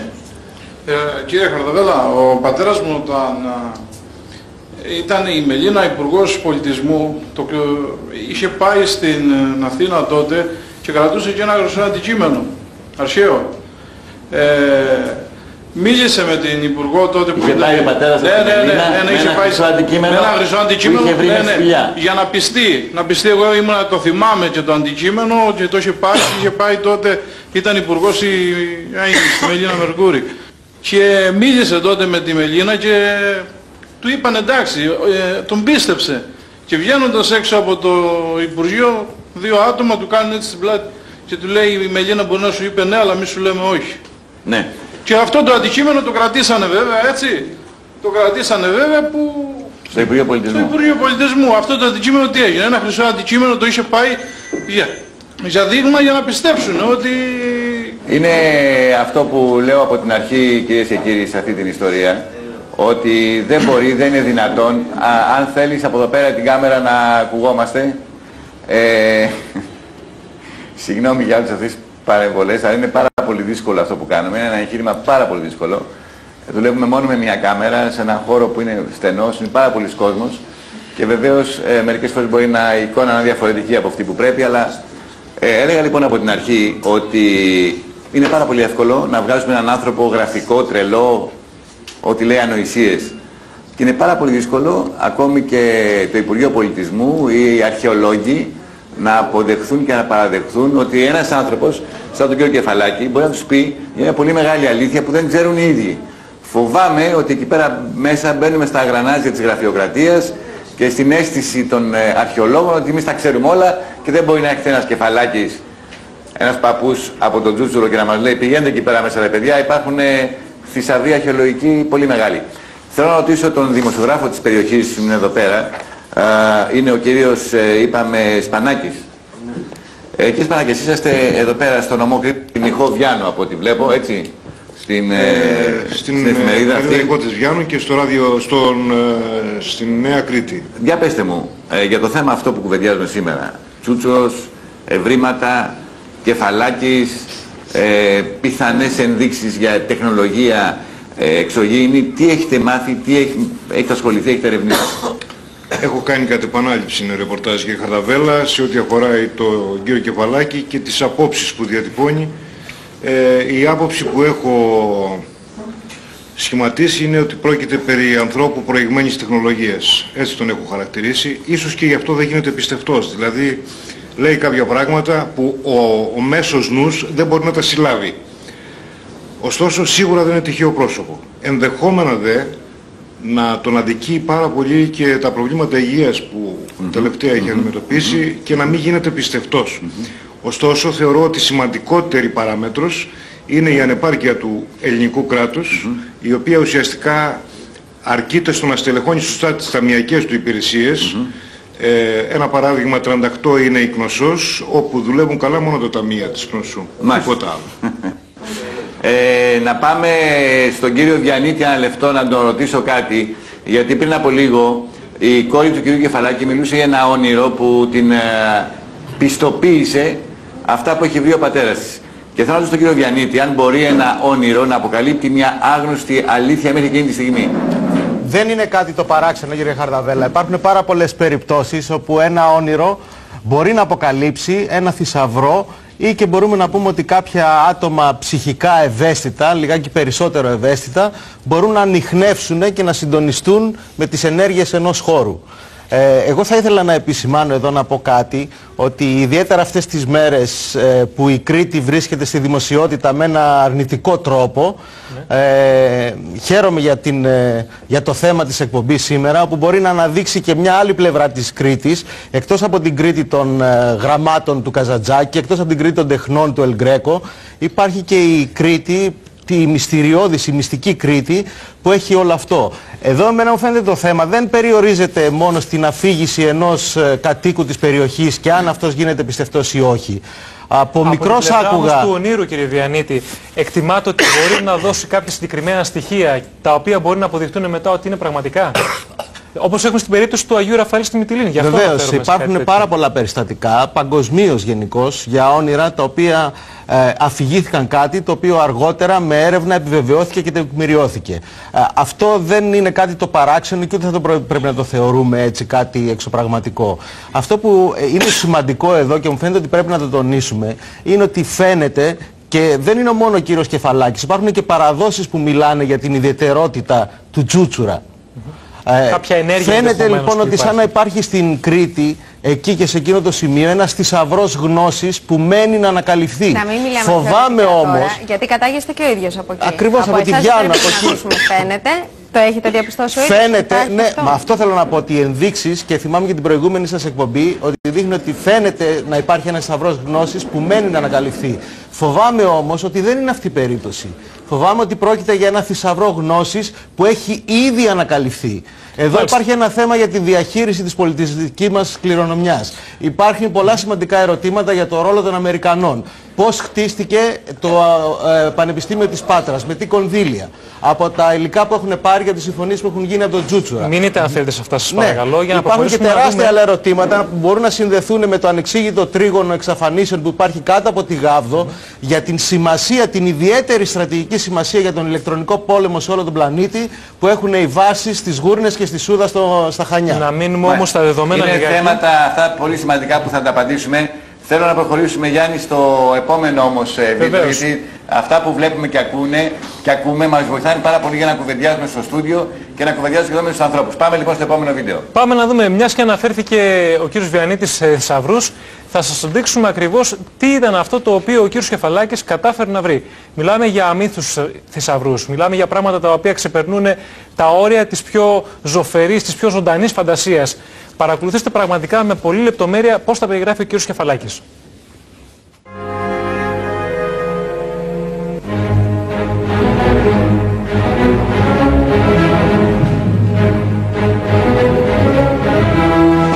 Κύριε Νταναλάκη, βρισκόμαστε στην περιοχή Λαρνάκη, εδώ στο Τζούτσουρο και πίσω μας υπάρχει ένα ψηλό βουνό στο οποίο βλέπουμε δίδυμες σπηλιές. Τι είναι αυτές και τι ξέρουμε για αυτές τις σπηλιές; Αυτές οι δίδυμες σπηλιές είναι ένα από τα παράξενα αυτού του τόπου τέλος πάντων.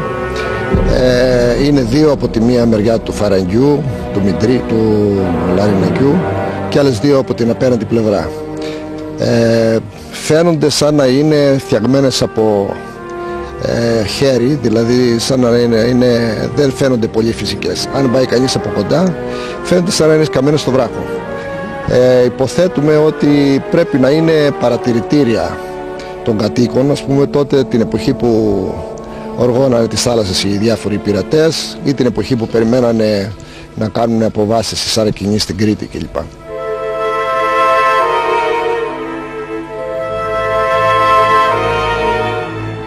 Σε αυτή τη σπηλιά δεν ξέραν ότι είχε αρχαία στην αρχή. Ή την είχαν, τη χρησιμοποιούσαν σαν χειροστάσιο. Είχαν χείρους μέσα. Κάποια στιγμή οι χείροι σκάβοντας με τη μουτσούδα τους βγάλαν κάποια αντικείμενα. Ψηλιαστήκανε λοιπόν οι κάτοικοι, βγάλαν τους χείρους και αρχίσαν και σκάβανε οι ίδιοι ας πούμε και ανακαλύψανε πάρα πολλά αρχαία. Τελικά βέβαια ένα σκαφί, τους βρήκανε, τους πιάσανε, βρήκανε τα αρχαία, με, λένε ότι πήρανε τηγά ευρήματα τα οποία γύρω στο 1960 πρέπει να ήταν αυτή η δουλειά τα οποία είναι αυτή τη στιγμή στις αποθήκες το, ε, του Μουσείου του Ηρακλείου αλλά δεν έχουμε πολλά πράγματα ούτε δημοσιεύτηκε ποτέ ε, το ημερολόγιο της ανασκαφής το ψάχνουμε και αν το βρούμε καλά θα είναι για να πληροφορηθούμε πως έγινε όλη αυτή η ιστορία Αυτή η σπηλιά είναι η σπηλιά της ηλιθίας. Ήταν θεά η οποία προστάτευε την γονιμότητα, την τεκνοποίηση κτλ. Το γνωρίζετε, φαντάζομαι. Ε, αυτή η σπηλιά ανακαλύφθηκε πρώτα από κάποιον κάτοικο εδώ του χωριού. Μου είπατε ότι υπήρχαν και κάποιοι μοναχοί εδώ γύρω που μέσα το είχαν ως σκελί. Ε, πολύ παλιά υπήρχαν κάποιοι μοναχοί απ' έξω σε κάποια άλλα κελιά και χρησιμοποιούσαν σαν εικονοστάση την, ε, ε, τη σπηλιά ας πούμε αλλά τελικά την είχαν εγκαταλείψει και είχε καταντήσει να είναι τόπος ας πούμε, που βάζανε τα ζώα οι χωρικοί. Στο κέντρο του σημερινού Τσούτσουρου βρίσκεται η σπηλιά της Ηλιθίας. Η Ηλιθία ήταν θεά που στην αρχαιότητα προστάτευε την γονιμότητα και την τεκνοποίηση.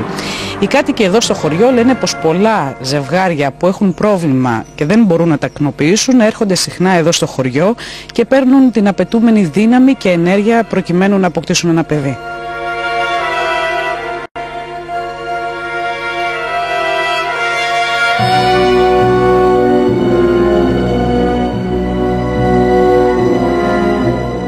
Βρισκόμαστε στο φαράγγι του Μιντρί. Εδώ κατά την αρχαιότητα έρε ένας ποταμός, ο Μιντρής, ο οποίος ε, έφευγε στη θάλασσα, στην παραλία του Τσούτσουρου. Το τοπίο είναι πολύ άγριο και πολύ επιβλητικό, μυστηριώδες αρκετά. Οι κάτοικοι κατά καιρούς λένε πως ο ποταμός αυτός ξέβραζε αρχαία στην παραλία κάτω, στο χωριό. Όπως επίσης και η θάλασσα έβγαζε αρχαία που οι κάτοικοι απευθυνόμενοι στο μουσείο του Ηρακλείου δεν έπαιρναν καμία απάντηση γι' αυτό.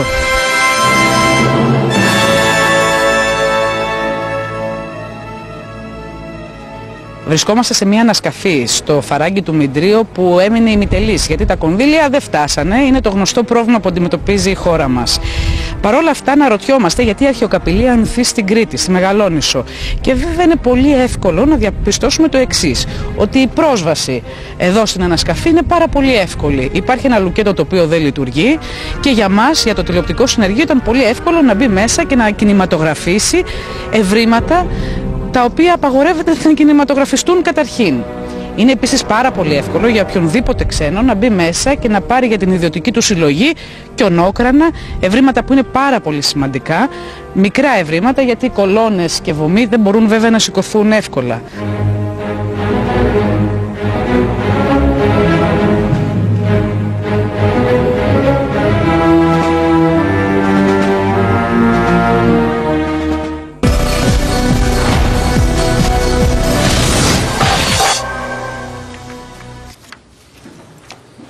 Καταλαβαίνετε λοιπόν ε, πόσο εύκολο είναι να γίνει αυτή όλη η μεγάλη κλειψιά, η διαρπαγή και η αρπαγή του όποιου χελικού θησαυρού υπάρχει όχι μόνο στην Κρήση, όλη την Ελλάδα, αλλά και ιδιαίτερα εδώ πέρα στο Τζούτσουρο, μέσα στις σπηλιές αυτές των α, βουνών που είναι γύρω από το χωριό, σε αυτές τις σπηλιές που έχει κατεβεί ο Κεφαλάκης και που περιγράφει όλα αυτά τα φοβερά πράγματα που έχει βρει εκεί πέρα μέσα. Ε, πάμε σε ένα διαφημιστικό διάλειμμα και αμέσως μετά συνεχίζουμε αυτό το μεγάλο ταξίδι, γιατί θα υπάρξουν εκπληκτικές αποκαλύψεις αμέσως μετά.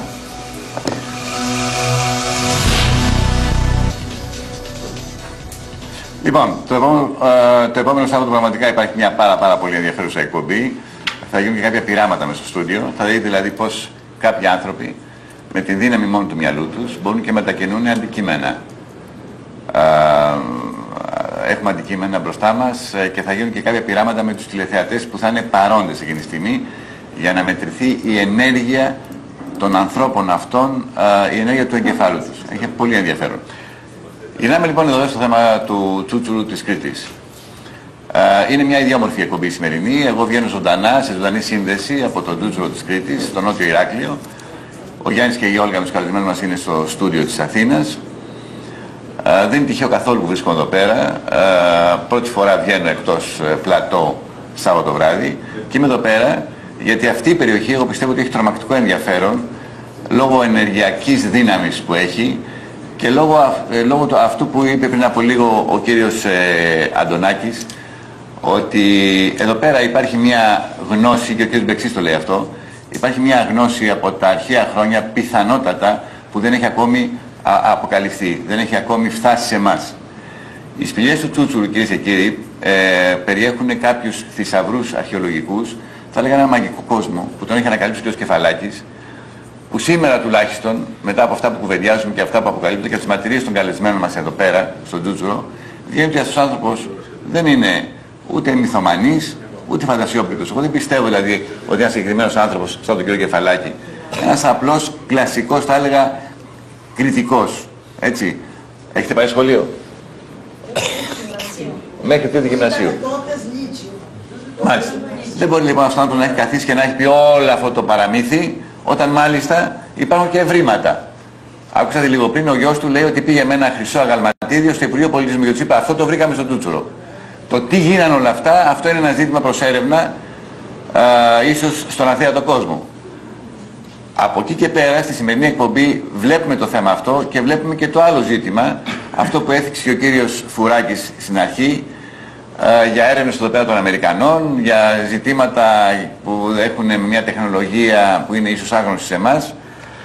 Και θέλω να προχωρήσουμε τώρα και στον κύριο Αναστασάκη Όλγα, Ναι, ναι. Ο ε, οποίος είναι από το γνώστης. Ιδεοθέατρο, ένας άνθρωπος που ψάχνει πολύ τα θέματα αυτά Ακριβώς, όλα τα και να μας ανεξήγητα. απαντήσει ένα ερώτημα. Κύριε Αναστασάκη, γνωρίζετε και ο ίδιος την αρχαία ελληνική γραμματεία. Θα ήθελα να σας ρωτήσω αν σε πηγές από αρχαίους Έλληνες φιλοσόφους, συγκρατη- συγγραφείς, θα μπορούσαμε να πούμε ότι όντως μέσα στις πηγές του Τσούτσουρου βρίσκεται κρυμμένος ένας αρχαίος ελληνικός θησαυρός. Εγώ δεν ξέρω αν μέσα στο Τζούτουρο υπάρχει ο αρχαιοελληνικό θησαυρός, εκείνο που μας μαρτυρούν τα ίδια τα αρχαία κείμενα που μελετάμε και διδάσκουμε και στον χώρο του ιδεοθέατρου στα μαθήματα αρχαίας ελληνικής φιλοσοφίας και μυθολογίας. Ε, μας παραδίδεται μια εξαιρετικά σημαντική πληροφορία από τον ε, διάδοχο της Πλατωνικής Ακαδημίας τον Πρόκλο για την Κρήτη. Προς επίρρωση όλων αυτών που είπαν και οι προηγούμενοι καλεσμένοι ε, για την σημαντική της Κρήτης, ο Πρόκλος μας παραδίδει ότι η Κρήτη ανήκει στο νοητό επίπεδο της Ελλάδος. Δηλαδή γίνεται χαρτογράφησης της Ελλάδος ολοκλήρου και έχουμε τρία επίπεδα κόσμων. Το νοητό, το νοερό και το αισθητό, το αισθητό περιβάλλον. Η Κρήτη λοιπόν είναι η κεφαλή θα λέγαμε, η πνευματική κεφαλή της Ελλάδος. Και αυτό μας το παραδίδει ο Πρόκλος προσπαθώντας να αποσυμβολήσει τον, ε, τον Τίμεο, είναι, απαραδίδεται στα σχόλια του Τιμαίου, αυτό στο δεύτερο βιβλίο των σχολείων του Τιμαίου, προσπαθώντας να αποσυμβολήσει τον Τίμεο, όπου θεωρείται η, ε, η πνευματική, ε, το πνευματικό ε, μέρος της, ε, ε, το πνευματικό μέρος που αφορά ε, την ε, πολιτεία των Αθηναίων να βρίσκεται σε μια ουράνια τοποθεσία, ε, η υποσελήνιος περιοχή να ανήκει ε, στους ε, Άτλαντες ε, από συμβολή στο σημείο της Ατλαντίδος και κάνει την αναφορά του ότι η Κρήτη είναι ο νοητός κόσμος, είναι η υψίστη βαθμίδα που διοικεί ε, την, ε, τον γεωγραφικό χώρο του κόσμου. Μάλιστα. Αυτή, όλα αυτά που μας λέει και ο αυτή- Σανσασάκης, συγγνώμη θα διακόψω και πάλι, όλα αυτά που λέει και ο Σανσασάκης ακριβώς θα έλεγα ότι πιστοποιούν αυτό που ακούστηκε λίγο πριν, ότι εδώ πέρα είναι πολύ πιθανό να υπάρχει μια γνώση που δεν την ξέρουμε ακόμη και που είναι τραγικό στην Ελλάδα το 2007 να μην έχουμε φτάσει σε αυτή την γνώση των προγόνων μας. Ε, για το θέμα της, ε, ε, των αρχαιολογικών ε, ερευνών που έπρεπε να γίνουν εδώ, διάβασα πρόσφατα σε ένα πολύ καλό περιοδικό στην ε, Μυστική Ελλάδα Όχι, όχι, στο ένα άρθρο του μάτι. κυρίου Συγγνώμη, του σας κυρίου διακόπτω. Πιλιούνη. Ναι, ναι, το άρθρο του κυρίου Ναι. Πιλιούνη ήταν στο περιοδικό Το Τρίτο Μάτι. Α, με συγχωρείτε. Στο τρίτο μάτι λοιπόν, ένα πολύ καλό περιοδικό, στον χώρο αυτό, το οποίο ενημερώνομαι και εγώ αρκετές φορές, ο κ. Πιλιούνης λοιπόν γράφει ένα άρθρο και λέει ότι ήταν έτοιμη να ξεκινήσει μια προσπάθεια ε, έρευνας των ε, σπηλαίων εδώ στο Τζούτσουρο από μια αρχαιολογική ομάδα η οποία θα χρηματοδοτείται από κάποιους αλλά αυτή η προσπάθεια δεν έγινε και μάλιστα αφήνει έναν υπενιγμό ότι πιθανόν αυτή η προσπάθεια να μην έγινε μετά τις εκπομπές που βγάλαμε εμείς πριν από δύο χρόνια. Ε, θέλω να πω το εξής ότι πιστεύω ότι αυτές οι εκπομπές και αυτοί που κάνουμε σήμερα ακριβώς προς την κατεύθυνση αυτή θέλουν να οδηγήσουν όσους ενδιαφέρονται για αυτούς τους αρχαιολογικούς θησαυρούς ότι πρέπει να γίνουν αυτές οι έρευνες και πρέπει να φτάσει αυτή η γνώση α, στο ευρύτερο κοινό.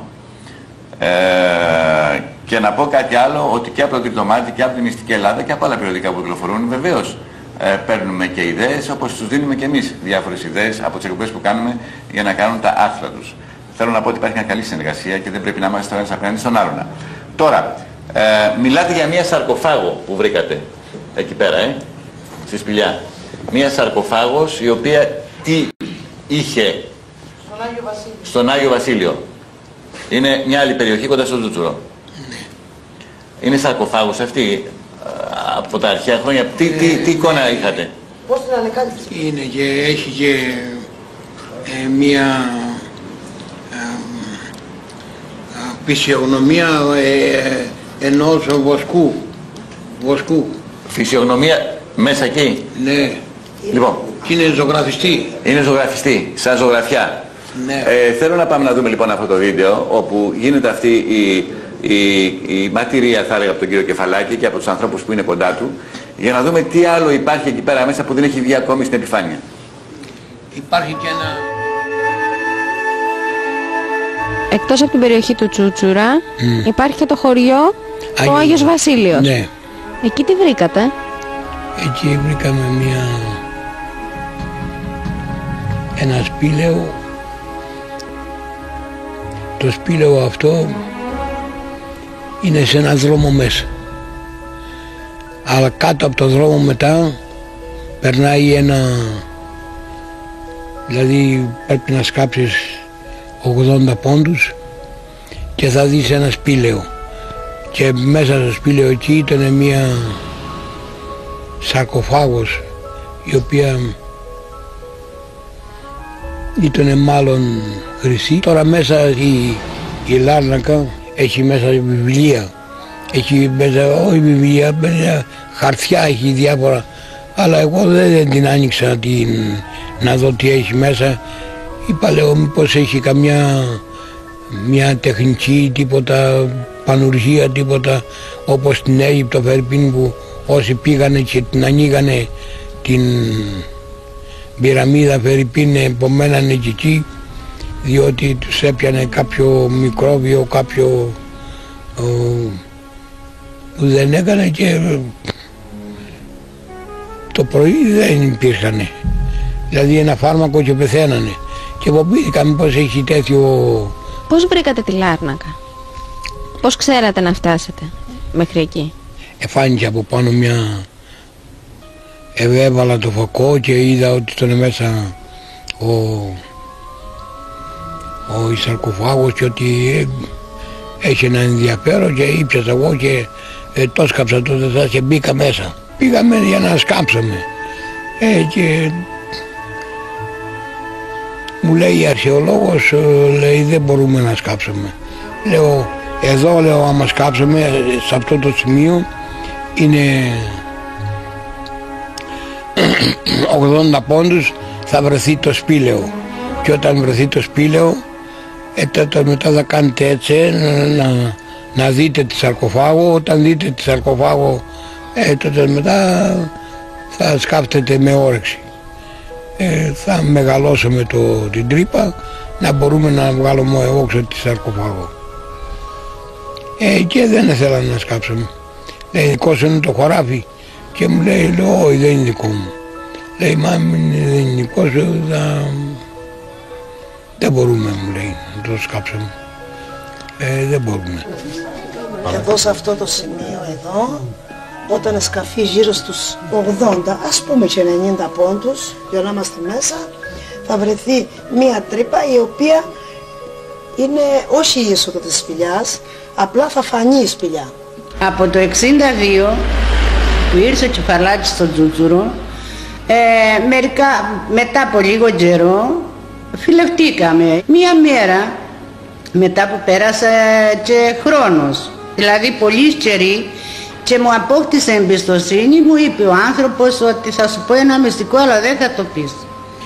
Στον Άι Βασίλη που μεγάλωσες, που γεννήθηκες, εκεί υπάρχει ένας σπήλιος, ο οποίος μέσα είναι μια λάρνακα. Είναι με μία φωτογραφία πάνω που είναι ε, σκαλισμένη, τώρα θα σε γελάσω ακριβώς, σκαλισμένη ή με χρώμα ζωγραφισμένη, μάλλον με χρώμα ζωγραφι, ζωγραφισμένο, υπάρχει ένας άνθρωπος με μεγάλη γενεάδα και εμένα μου φαίνεται σαν βοσκός. Αλλά δεν θα το πεις. Όταν έρθει η ώρα θα το μάθεις. Πιο καλά να το μάθουν όλος ο κόσμος. Εσείς τον ακολουθήσατε ποτέ να πάτε να ψάξετε μαζί; Κάναμε περιοδίες μαζί, να πάμε στο ένα βουνό, να πάμε στο άλλο. Αυτός εγνώριζε όμως πιο πολλά πράγματα. Όλα τα βιβλία αυτά όπου πήγαινε γύριζε και έγραφε την κάθε ιστορία. Τον ρωτούσα ποτέ ποτέ, μα πώς τα ξέρει μωρέ Μανώληση όλα αυτά; Πού τα άμαθες, λέει δεν πρέπει να μαθαίνεις. Εντάξει, δεν με ενδιάφερε να μάθω περισσότερα πράγματα από εκεί. Πάντως είναι αλήθεια για τον Άγιο Βασίλη όλα αλήθεια γιατί όλα τα σπίτια είναι απάνω σε σπήλαια χτισμένα. Και πιο κάτω από εκεί που είναι η Λάρνακα έχει ένα άλλο σπίτι που είμαστε πολύ γνωστοί και συγγενείς και υποχώρησε το πάτωμα και είδαν ότι υπάρχει ένα μεγάλο σπήλαιο και φύγανε, το εγκαταλείψανε το σπίτι αυτό. Δεν λέει ο άνθρωπος ψέματα, αλλά εγώ πιστεύω ότι έπρεπε να τον βοηθήσει το κράτος να βγει αυτό το έβριμα, να βγει αυτό, να πιστέψουνε. Το επόμενο Σάββατο στις πύλες του Ανεξήγητου. Τι συμβαίνει με τους ανθρώπους που επηρεάζουν την ηλεκτρική ενέργεια και κινούν αντικείμενα με την δύναμη του μυαλού τους; Δηλώστε τώρα συμμετοχή στο 210 57 07 900 ή στο email piles.alter.gr από τη Δευτέρα στο τηλέφωνο 210 5707 852.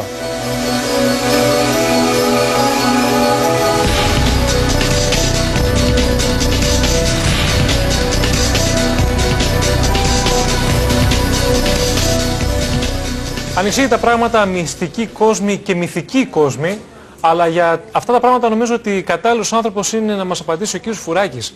Κύριε Φουράκη, ακούμε πάρα πολλές θεάσεις διαφόρων αντικειμένων, οι οποίες δεν εξηγούνται τουλάχιστον με τα δεδομένα τα γήινα. Θέλω λοιπόν να μου πείτε πώς συνδυάζονται τσούτσουρας και εξωγήινες επισκέψεις. Ε, καταρχάς, ο κ. Καρδαβέλας μίλησε για ενεργειακή δύναμη. Αν θυμόσαστε πριν από λίγο. Για να δούμε αυτό το σημείο πέρα από τα αρχαιολογικά που λέει ο κύριος Κεφαλάκης, τα οποία είναι φυσικό να υπάρχουν γιατί εκεί ήταν ο ναός της Ελθίας και ήταν ο ναός για όλο το Αιγαίο και την Ελλάδα αλλά και την Αίγυπτο έτσι. Και ήταν τα αναθέματα τα αναθήματα αναγκαία ή αναπόφευκτα. Υπάρχουν και άλλα πράγματα. Για να καταλάβουμε λοιπόν αυτό που ρώτησες ο, τα αστερούσια όρη είναι αστεροειδής που έχει πέσει και έχει δημιουργήσει αυτή την κατάσταση. Γι' αυτό ακριβώς Μιλάμε για ουσία αστέρων, αστερούσια όρη.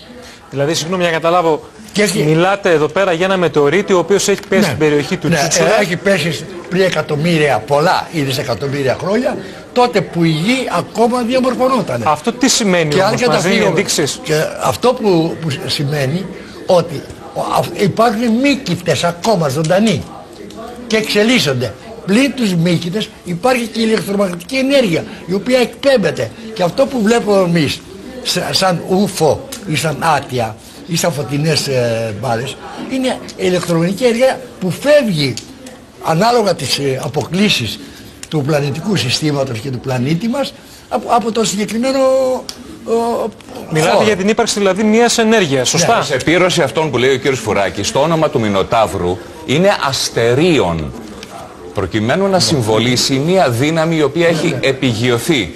Όπως προείπαμε, ε, υπάρχει η τριπλή όψη των ενεργειών του νοητού, του νοηρού και του αισθητού περιβάλλοντος. Η Κρήτη λοιπόν θεωρείται από τα αρχαία χρόνια ως ενέργεια η οποία ανήκει στον νοητό κόσμο, έξω δηλαδή από το ηλιακό μας περιβάλλον. Είναι η λεπτοφιέστερη δομή του ηλίου μας. Με συγχωρείτε πολύ, αλλά δεν μου απαντάει το ερώτημα αυτό. Συγγνώμη, Όλγα.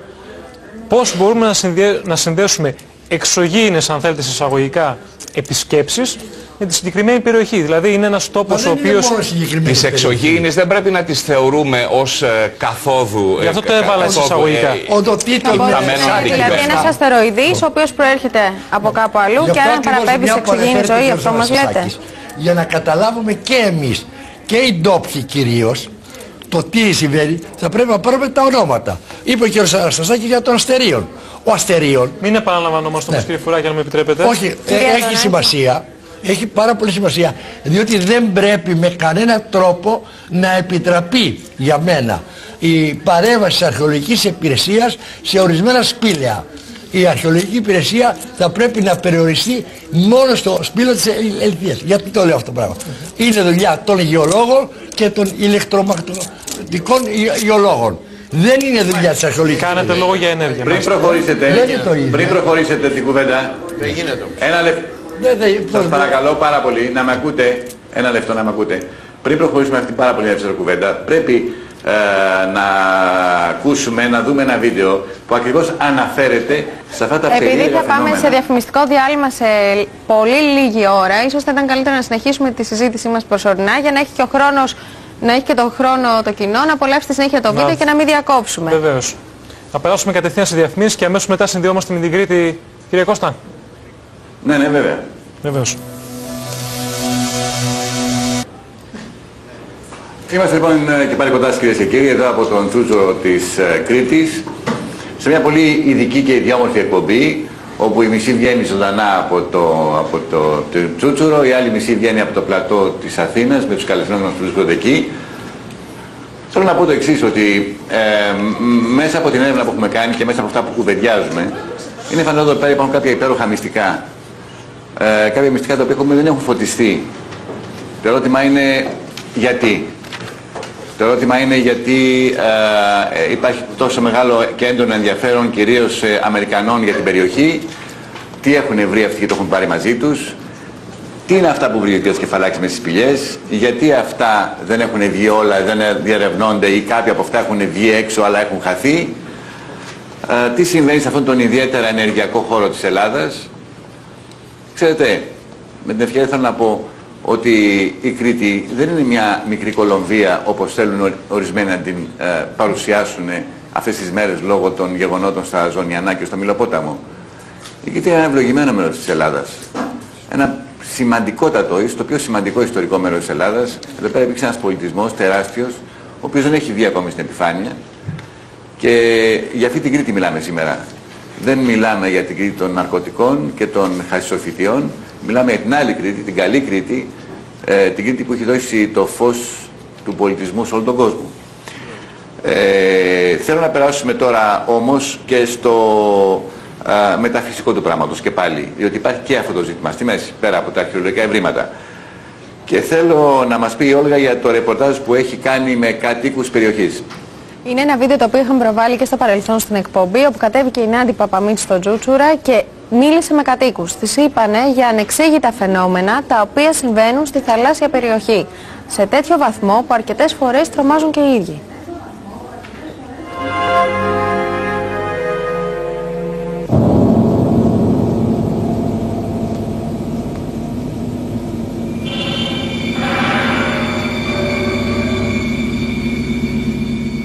Και πάρα πολύ φορτούνα και το μεταξύ την βραδιά εγώ βγήκα έξω για να δω τη θάλασσα και από τα βουνά απάνω ξαφνικά είδα μία, ένα φωτισμό. Ήταν σαν μία δέσμη φωτός αλλά ήταν πολύ δυνατή. Η οποία αυτή η δέσμη διέρχησε περίπου τρία λεπτά. Μπορεί και παραπάνω. Εν τω μεταξύ μπήκα στο μαγαζί μέσα, βγήκα έξω, λέω του Βλάμι, λέω Βλάμι, του λέω έλα έξω. Βγαίνει και ο παππούς ο Βλάμις έξω, βλέπει αυτή τη δέσμη και κατευθείαν φυσικά εμείς πήραμε τηλέφωνο την αστυνομία στον πύργο, στο τμήμα του πύργου. Ήρθαν η αστυνομία φυσικά μετά από μισή ώρα. Πήγανε στον Πέρα Τσούτσουρο και με φακούς ιστορίες ψάχναν να δουν μήπως μπορούσαν να βρουν κάτι. Δεν βρήκανε τίποτα και μάλιστα είπαν την εκδοχή ότι μπορεί να κατέβει κάποιο ελικόπτερο λέει για να πάρει κάτι ή για να... ή ήταν κάτι διαφορετικό ρε παιδί μου. Αλλά εμένα η εκδοχή μου είναι ότι ελικόπτερο αποκλίνει να ήταν. Γιατί ναι μεν είχε φορτούνα, άκουγες το κύμα και επειδή πολλές φορές περνάνε πολλά ελικόπτερα από το γράμμο, εμείς δεν βλέπουμε, ακούμε τον ήχο του ελικόπτερου. Αλλά ελικόπτερο δεν είδα εγώ. Ούτε άκουσα φυσικά. Άρα εγώ πιστεύω ότι πρέπει να ήταν ε, κάτι διαφορετικό. Αλλά μπορώ να σου πω άλλο ένα πράγμα ότι πολλές φορές στη θάλασσα μέσα, σε αυτό το απέραντο, όπως το βλέπετε, πολλές φορές συναντάς μιλάμε κάτι σημάδια, κάτι φωτισμούς μέσα, οι οποίοι είναι όχι του λεπτού, είναι του δευτερόλεπτου. Λέει, βλέπεις κάτι, μία λάμψη και φεύγει. Ενώ ούτε βρέχει, ούτε... Απλώς βλέπεις μία λάμψη και θα βγει έτσι μέσα. Αλλά για το βουνό Κιχάμε είναι είμαι σίγουρος. Μου έχετε πει ότι κατά καιρούς η θάλασσα βγάζει πολλά αρχαία, πολλά αυτά. Ε; Ναι, εντάξει, βγάζει πολλά πράγματα το Κιχάμε, πέτρες, διάφορες, όπως ε, ας το πούμε και στην κάμερα μπροστά, δεν έχω πρόβλημα. Οι πέτρες στο μαγαζί μπροστά τις έχω βγάλει, βγάλει μέσα στη θάλασσα. Μαζί με ένα φίλο μου τραβήξαμε με σχοινιά, οι οποίες είναι φυσικά κατεγραμμένες στο μουσείο, το έχουν δει, τα έχουν πει όλα αυτά, τα, έχουν, τα ξέρουν παιδί μου. Τα έχω εκεί μπροστά, τα βλέπει ο κόσμος. Μάλιστα. Πάντως κατά καιρούς έχεις ακούσει εδώ φαντάζομαι πολλές ιστορίες. Ε, Ιστορίες που αφορούν τα πολλές, αρχαία. κολόνες υπάρχουν πάρα πολλές εδώ μέσα. Υπάρχουν πάρα πολλές. Και στο μαγαζί μου μπροστά μπορείτε να τις δείτε δύο κολονάκια που έχω. Ένα κάτι τετράγωνες πέρας που έχει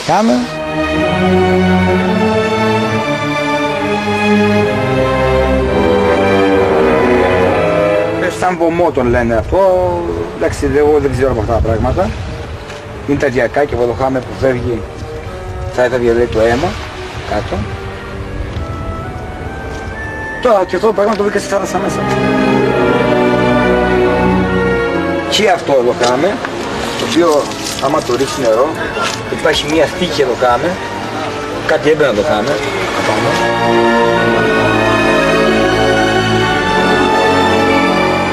Και αυτές τις πέτρες και φυσικά αυτή η πέτρα. Και αυτή πάει η κολόνα.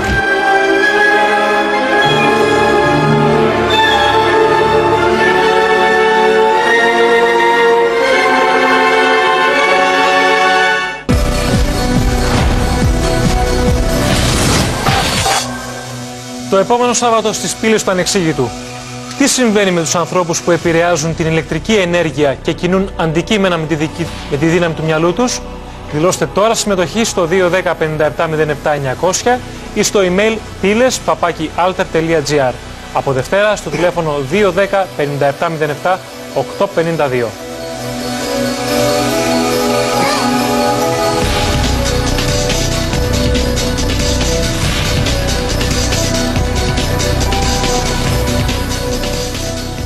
Λοιπόν, είμαστε πάλι εκεί στο, εδώ στο Ντούτσουρο της Κρήτης, σε αυτή την υπέροχη περιοχή, με τα μεγάλα μυστικά, με τα μεγάλα μυστήρια, με ένα αρχαιολογικό, αρχαιολογικό θησαυρό που ακόμη δεν έχει βγει στην επιφάνεια, με τον κύριο Κεφαλάκη που επιμένει στα ευρήματά του, αλλά νιώθει ο άνθρωπος και μια απογοήτευση μεγάλη, διότι όπου το είπε, τον βγάλαν πάρα πολύ εύκολα γραφικό και δώσαν σημασία σε αυτά που είπε. Ωστόσο βρήκανε πολλά αρχαιολογικά ευρήματα, τα οποία δυστυχώς τα ψάχνουμε κι εμείς. Επειδή θα είμαι κοντά σας εγώ από εδώ, από την Κρήτη για τα επόμενα 10 λεπτά, γιατί μετά θα, δεν θα έχουμε κύκλωμα και μια ζωντανή σύνδεση, αλλά η εκπομπή θα συνεχιστεί μέχρι τις 2 το πρωί από το στούντιο με τον Γιάννη και την Όλγα και τους καλεσμένους μας εκεί. Ε, θα ε, εκμεταλλευτώ αυτό το λίγο χρόνο έτσι να κουβεντιάσω με κάποιους ανθρώπους που είναι κοντά μας, γιατί ε, είναι εδώ πέρα μαζεμένοι στον Πολιτιστικό Σύλλογο και όλοι τους σχεδόν έχουν ζήσει κάποια γεγονότα και κάποια φαινόμενα εδώ πέρα στην περιοχή. Να μιλήσουμε με τον κύριο Ραπτόπουλο. Ο κύριος Ραπτόπουλος είναι μηχανικός μου είπατε; Ναι, συνταξιούχος. Συνταξιούχος πολιτικός μηχανικός και μένετε εδώ. Για πέστε μου, τι συμβαίνει στο Τζούτσουρο και έχει δημιουργηθεί έτσι όλη αυτή η ιστορία, η φήμη αν θέλετε; Όπως είπατε και εσείς πριν, αυτό το, αυτός ο πανέμορφος τόπος δεν ανακαλύφθηκε πρόσφατα. Υπήρχε, Ναι, συνεχίζουμε. Μην... ναι, υπήρχε πριν από πάρα πολλά χρόνια, ήταν γνωστός και εκατοικούνταν πριν από χιλιάδες χρόνια. Ε, πριν από λίγα χρόνια, ναι, καμιά δεκαριά χρόνια, έγινε εκεί στο κτήμα μου μια ανασκαφή από την, ε, α- από την κυρία Αντωνακάκη, αρχαιολόγο της περιοχής και αποκάλυψε ένα, ε, ένα νεολιθικό οικισμό. Ε, και εγώ έρχομαι εδώ επειδή είχα περιουσία, από τη- είχαν περιουσία. Για πέστε μου, κύριε Πετρόπουλο, κύριε Ναι. Ραπτόπουλε, σας παρακαλώ πολύ να ανοιχτώ, για να μην μπούμε σε δύο ιστορίες ε, προσωπικές. Ε, εδώ πέρα μιλάνε και για έναν ενεργειακό, ιδιαίτερα ενεργειακό τόπο, χώρο, όπου μπορούν να συμβαίνουν και διάφορα γεγονότα που από μια πρώτη άποψη μπορεί να φαίνονται και ανεξήγητα. Έχετε ακούσει εσείς κάτι τέτοιο, ε, είσαστε μάρτυρας ίσως κάποιων τέτοιων γεγονότων; Όχι. Όχι. Δεν Γιατί έχω. μου λέγατε λίγο πριν για τα αστερόισα όρια εδώ πέρα. Για τα αστερούσια. Αστερούσια. Ναι. Ότι υπάρχει... Είπα, ναι, το, η εικόνα που, σι- που φαίνεται από εδώ από την περιοχή που είναι το δικό μου κτήμα, το Αλλιόρι, ε, είναι η, της κορυφογραμμής εμφανίζει ένα, ε, μια μορφή ανθρώπινη, κυρίως ένα, ιδίως μάλλον, ένα κεφάλι τόσο καθαρό που φαίνεται τα, μα- τα μαλλιά, τα μάτια, τα φρύδια. Ε, πιστεύω πως είναι ο, είναι ο Κρόνος. Ε, ο Κρόνος, όχι, ο Κρόνος, ε, με συγχωρείτε, ε, ο, Δίας. Κρόνος επιμένω. Μάλιστα. Ο Κρόνος, ο Δίας είναι στις Χαρχάνες. Δεν Ναι. μπορεί να τον πει- πήραμε εμείς από εκεί να τον φέραμε εδώ. Ο, είναι ο Κρόνος. Και ε, μάλιστα έχει είναι πρισμένο το- από εδώ μπορείτε να δείτε. Δεν βλέπετε τίποτα, δεν φαίνεται τίποτα. Δεν φαίνεται πολλά πράγματα. Εάν πα- παρακολουθήσει το μάτι σας στην κορυφογραμμή θα δείτε ότι υπάρχει ένα, μια εξόγκο, ένα εξόγκωμα στη θέση που είναι το στομάχι και προφανώς είναι η πέτρα που έφαγε ο Κρόνος και... Αυτό είναι μια, δώστε μου το καφέ. αυτό είναι μια, ε, θα έλεγα, δική σας εξήγηση των πραγμάτων. Για πες μου εσείς. Ε, δεν δικαιολογείται με τις ελάχιστες γνώσεις που έχω, δεν δικαιολογείται να είναι ο Κρόνος και ταυτόχρονα να υπάρχει θεά της γονιμότητας στην περιοχή του Τσούτσουρα. Ας αφήσουμε είναι μια λοιπόν- αντίβαση. Ας Εν αφήσουμε πάση λοιπόν- περιπτώσει ένα εκείνο λεπτό. ότι κύριε Ας αφήσουμε Χαρδαβέλα... αν είναι ο χρόνος δεν είναι ο χρόνος. Σωστά. Γιατί δεν είναι το θέμα μας αυτό. Το θέμα μας είναι άλλο. Αυτό που σας ρώτησα. Ήρθατε εδώ πέρα κάτι μιας περιοχής. Έχετε μαζευτεί σήμερα εδώ πέρα στον Πολιτιστικό Σύλλογο. Όλοι ξέρουμε και παραδεχόμαστε ότι υπάρχουν κάποιοι αρχαιολογικοί θησαυροί στα, στα, στις πηγές του Τσούτσουρου που δεν έχουν, γίνει, δεν έχουν εκμεταλλευτεί, δεν τους έχουν βρει. Πέραν αυτών, πολλοί μιλάνε και ο κ. Φουράκης και έχουν γραφτεί και ολόκληρες μελέτες για δημιουργία και ύπαρξη εδώ πέρα φαινομένων μέσα στη θάλασσα. Μου έλεγε μάλιστα πριν από λίγο ένας κύριος εδώ πέρα που καθόταν ότι μέσα στη θάλασσα υπάρχει μια βυθισμένη πόλη, υπάρχουν νεφρούρια. Είναι ο πύργος εκεί πέρα. Αυτό είναι όραμα. Κύριε Υπάρχουν... Καρδαβέλα, Ναι, ορίστε, ακούστε. οι ιδιαίτερες, ε, ε, οι ενεργειακές ιδι- ιδιαιτερότητες της περιοχής εξηγούν πάντως μια κατάσταση για ποιο λόγο κάποιος φρενάρει, ποια είναι η τροχοπέδη για να μην γίνουν οι ανασκαφές οι απαιτούμενες και να αναδειχτεί ο Τσούτσουρας. Κατά την ταπεινή μου άποψη, ε, έχω την αίσθηση ότι ε, οι εντολές δίνονται από την ΆΣΑ. Αν μου επιτρέπετε στο εντολές σημείο δίνονται αυτό μέσα. από την Γιατί; Αθήνα, Υπάρχει κάποιο μυστικό. Η περιοχή κρύβει κάποια μυστικά, τα οποία εγώ προσωπικά δεν μπορώ να τα εξηγήσω. Πάντως, ας βρεθεί μια λογικοφανής έστω εξήγηση για ποιο λόγο δεν βρέθηκε ένας κελαράκης, μια λεμπέση, που τόσα πολλά πράγματα έχουν αναδείξει στο νησί, να έρθουν εδώ τη στιγμή κατά την οποία έχουν φύγει φορτηγά με αξιολογότατα αρχαιολογικά ευρήματα, κατά την οποία υπάρχει ένας θησαυρός απίστευτος, ο οποίος μένει κρυμμένος και υπάρχει και ένα μυστήριο στην όλη ιστορία. υπάρχει στο Ε, σημείο αυτό ένα ερώτημα κύριε Χαραβέλα, στο οποίο ο κύριος Αντωνάκης νομίζω ότι θέλει να θέσει στους ε, καλεσμένους εκεί στην Κρήτη. Είναι σημαντικό νομίζω να το ακούσουμε πριν κλείσουμε. Κύριε Αντωνάκη. Ναι, ας τα ακούσουμε. Κύριε Χαρδαβέλα, θέλω να ρωτηθεί ο κύριος Κεφαλάκης αν στα ευρήματα τα οποία είχε ο ίδιος δει ε, υπήρχε κάποια, κάποιο έβριμα που θύμιζε πυραμίδα; Μάλιστα. ώστε να συνδεθεί με τη χρυσή λάρνακα για την οποία μίλησε γιατί είναι ιδιαίτερα σημαντικό αυτό. Ρωτάνε από την Αθήνα εάν σε αυτά που βρήκατε μέσα στις σπηλιές υπήρχε και μία κατασκευή που να θυμίζει πυραμίδα.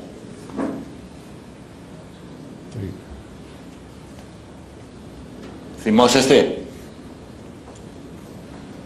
Πυραμίδα. Ξέρετε την πυραμίδα.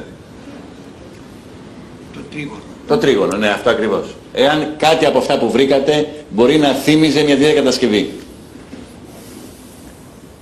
Δεν θυμόσαστε. Κάτι άλλο τελευταίο θα να το ρωτήσω. Ε, είσαστε ένας άνθρωπος μεγάλης ηλικίας. Καταλαβαίνω την απογοήτευσή σας, καταλαβαίνω την πίκρα σας. Όπου πήγατε και χτυπήσατε πόρτες, σας αντιμετώπισαν σαν ένα γραφικό άνθρωπο που δεν, έτσι. Εάν τώρα, αν αύριο μεθαύριο γίνει μια προσπάθεια ουσιαστική από μια ομάδα αρχαιολόγων, ανθρώπων οι οποίοι ενδιαφέρονται πραγματικά να αναδείξουν το τι υπάρχει στις πλιές του Τσούτσουρα, θα τους βοηθήσατε; Θα προσπαθήσω να τους βοηθήσω. αν μπορώ μόνο, γιατί δεν... Είσαστε και έχετε προβλήματα υγείας. Ναι. Ωστόσο έχετε από ό,τι ξέρω χάρτες, ημερολόγια, ε, ε, καταγράφετε ακριβώς τα σημεία που βρίσκονται κλπ. Ναι. Υπάρχουν αυτά. Ναι, έχω. Μάλιστα. Ε, πριν, πριν κλείσω την α, σύνδεση από το Τζούζουα της Κρήτης, για να συνεχίσω αύριο μια προσπάθεια που κάνω εδώ, θέλω να πω το εξής. Θα συνεχίσουν τώρα ο Γιάννης και η Όλγα την εκπομπή από το στούντιο της Αθήνας με τους καλεσμένους μας. Κλείνοντας θέλω να πω όμως ότι πραγματικά αξίζει τον κόπο να γίνει μια ουσιαστική προσπάθεια κατάβασης στις πηγές αυτές του Τσουτσουρού, εδώ, α, χωρίς συμφέροντα και χωρίς ε, γραφειοκρατικές διαδικασίες αρχαιολογικών υπηρεσιών κλπ. κλπ για να έρθει στην επιφάνεια αυτός ο θησαυρός ενός μυθικού κόσμου που περιγράφει ο κ. Κεφαλάκης στη συνεδέξη που ακούσατε. Αυτό είναι μια έτσι δική μου πρόταση και μια προσπάθεια που εμείς θα, προσπα... θα ε, παλέψουμε να την υλοποιήσουμε. Θέλω να σας αποχαιρετήσω από τον ε, Τσούτσορο με όλους τους καλεσμένους μας. Εσκάψα εγώ και βρήκα αναρχία. Πρόσφατα σκάψαν εδώ και βρήκαν αρχαία. Στον δρόμο πάνω. Και δεν μας ενημερώσαν ούτε Πάνω στον δρόμο. Μέσα στον δρόμο. Στον δρόμο πάνω. Τι έχει μείνει τρύπα ακόμα τώρα. Το μουσείο, ποιος έσκαψε, εμείς σκάψαμε. Το Το μουσείο, το μουσείο έσκαψε. Το μουσείο έσκαψε. Και ούτε μας είπανε τίποτα, ούτε το ότι βρήκανε τίποτα. Ούτε Και πράγματα αφήσανε την τρύπα για το εκεί και Γιάννη πήγαν. του μουσείου, ούτε τίποτα. Θα μπορώ να μιλήσω, μπορώ να μιλήσω. Ορίστε. Λοιπόν, Εγώ Πάρε το πήγα στο μικρόφωνο. Μουσείο. Πήγα στη- στο μουσείο και βρήκα την αρχαιολόγο. Επειδή οι πληροφορίες εδώ των κατοίκων που ερχόταν σε μένα ήταν ότι είχαν βρεθεί διάφορα αντικείμενα. Πήγα λοιπόν να το διαπιστώσω. Η αρχαιολόγος η τοπική εδώ ε, με, με διαβεβαίωσε ότι βρεθήκανε κάτι μικρά ε, αναθήματα, πώς τα λένε αυτά; Αναθήματα, ναι. Ναι, πιθαράκι. Τίποτα άλλο δεν βρέθηκε. Αυτά μου είπε. Εγώ είδα, εγώ είδα προσωπικά, είδα, ε, βρεθήκανε αγάλματα τόσα, χάλτσινα. Αυτές είναι δικές Χάλτσινα. Εμένα μου είπε αυτό. Εγώ πήγα η ίδια στο μουσείο. Κύριε Καρδαβέλα, κρύβονται πολλά πράγματα. Ας ανοίξουν τα μάτια τους. Εμείς δεν, δεν έχουμε συμφέροντα. Αυτός ο άνθρωπος δεν ζητάει τίποτα. Ούτε και εμείς τα παιδιά του. Ας έρθει το κράτος εδώ κύριε Καρδαβέλα, τελικά να βρεθούν αυτά τα πράγματα. Δεν Μάλιστα. είναι ψέματα. Αυτό είναι η δική μου πρόταση, συγγνώμη δεν έχουμε πια χρόνο. Αυτή είναι, η δική μου, και αυτή είναι και η δική μου πρόταση, να γίνει μια προσπάθεια ουσιαστική, να δούμε τι υπάρχει μέσα σε αυτές τις πηγές στα, εδώ πέρα στο Τζούτσουρο. Δηλαδή είναι κρίμα να υπάρχει αυτός ο θησαυρός, να ε, βρίσκεται εκεί πέρα θαμένος, να υπάρχει ένας άνθρωπος που μπορεί να τους οδηγήσει και που ε, να έρχονται εδώ πέρα ξένοι και να τα παίρνουν.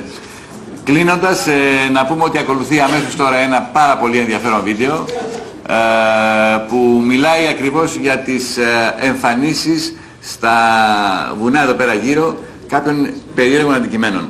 Ε, από το Τζούτσουρο Καλνήθα σας συνεχίζει ο Γιάννης και η Όλγα στο στούντιο της Αθήνας.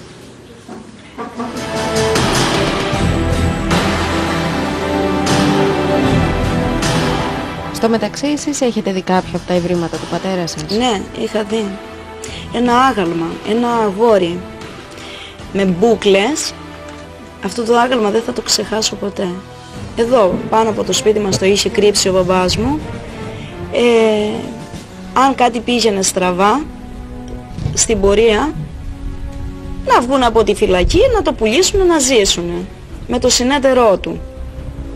Αυτός ο άνθρωπος από το πολύ ξύλο που έφαγε, γιατί και ο μπαμπάς μου έφαγε πάρα πολύ ξύλο, Ήρθανε λοιπόν που θα μου μείνει αυτή η ιστορία, αυτή η εικόνα ξέχαστη, δεν θα την ξεπεράσω όλγα ποτέ. Αυτή την εικόνα, στην παιδική μου ηλικία μου τραυμάτισε όλη μου τη ζωή. Φέραν τον μπαμπά μου με χειροπέδες. Όταν τον είδαμε τρέξαμε πάνω του, τον αγκαλιάσαμε, πέσαμε στα πόδια του, κτυπημένος πάρα πολύ. Τον είχαν χτυπήσει, ήταν πολύ αδύνατος.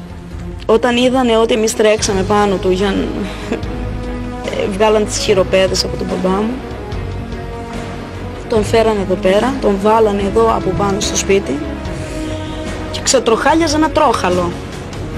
Μέσα σε αυτό το τρόχαλο λοιπόν είχαν σκάψει, είχαν βάλει αυτό το άγαλμα, ένα πανέμορφο αγόρι με μακριά μαλλιά μπούκλες. Ήτανε χάλκινο. Πού το είχαν βρει; Μάλλον στο σπήλαιο που είχε βρει τους πολλούς θησαυρούς. Ένα άγαλμα που ήταν, δεν, εί- δεν είχε μόνο τη μιλιά, η μιλιά του έλειπε. Η μιλιά του έλειπε. Ένα άγαλμα που δεν είχε φθαρθεί ήταν τυλιγμένο, το ξετυλίξανε, το είδαμε. Εγώ το θυμάμαι γιατί ήμουνα σε, σε ηλικία που μπορούσα να κρατήσω εικόνες, να καταλάβω και δεν θα το ξεχάσω όλγα ποτέ.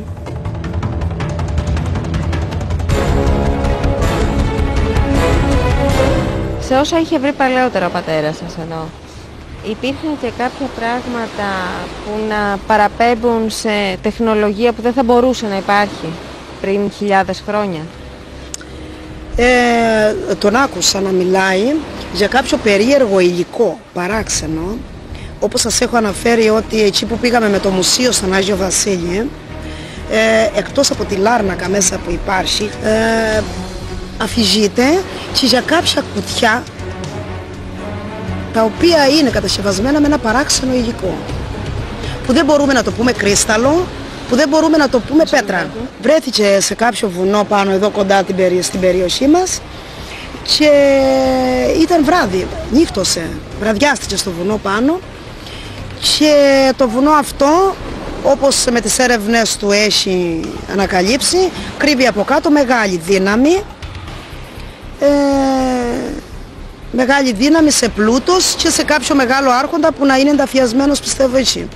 Όπως μας αφηγόταν λοιπόν την ιστορία αυτή, μας είπε ότι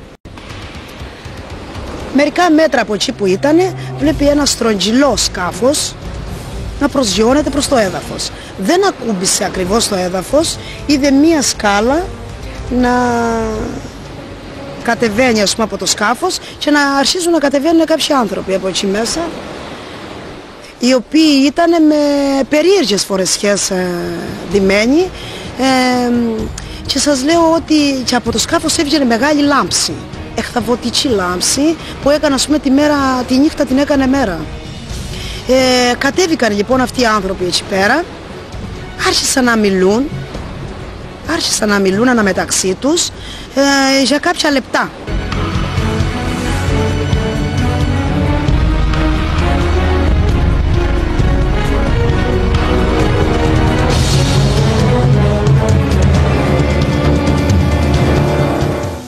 Το επόμενο Σάββατο στις πύλες του Ανεξήγητου.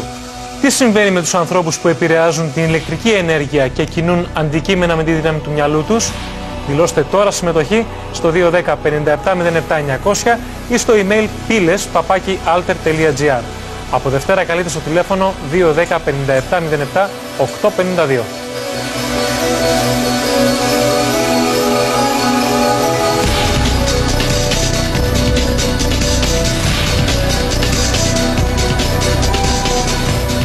Έχουμε ακόμα μία ώρα εκπομπής. Από εδώ και πέρα η εκπομπή θα προβάλλεται από την Αθήνα. Οι άνθρωποι στην Κρήτη μας μίλησαν για τα αρχαιολογικά ευρήματα που έχουν βρεθεί εκεί κατά καιρούς. Τι άλλο θα ήθελαν να βρεθεί και ευελπιστούν ότι θα γίνει με τη βοήθεια της αρχαιολογικής υπηρεσίας.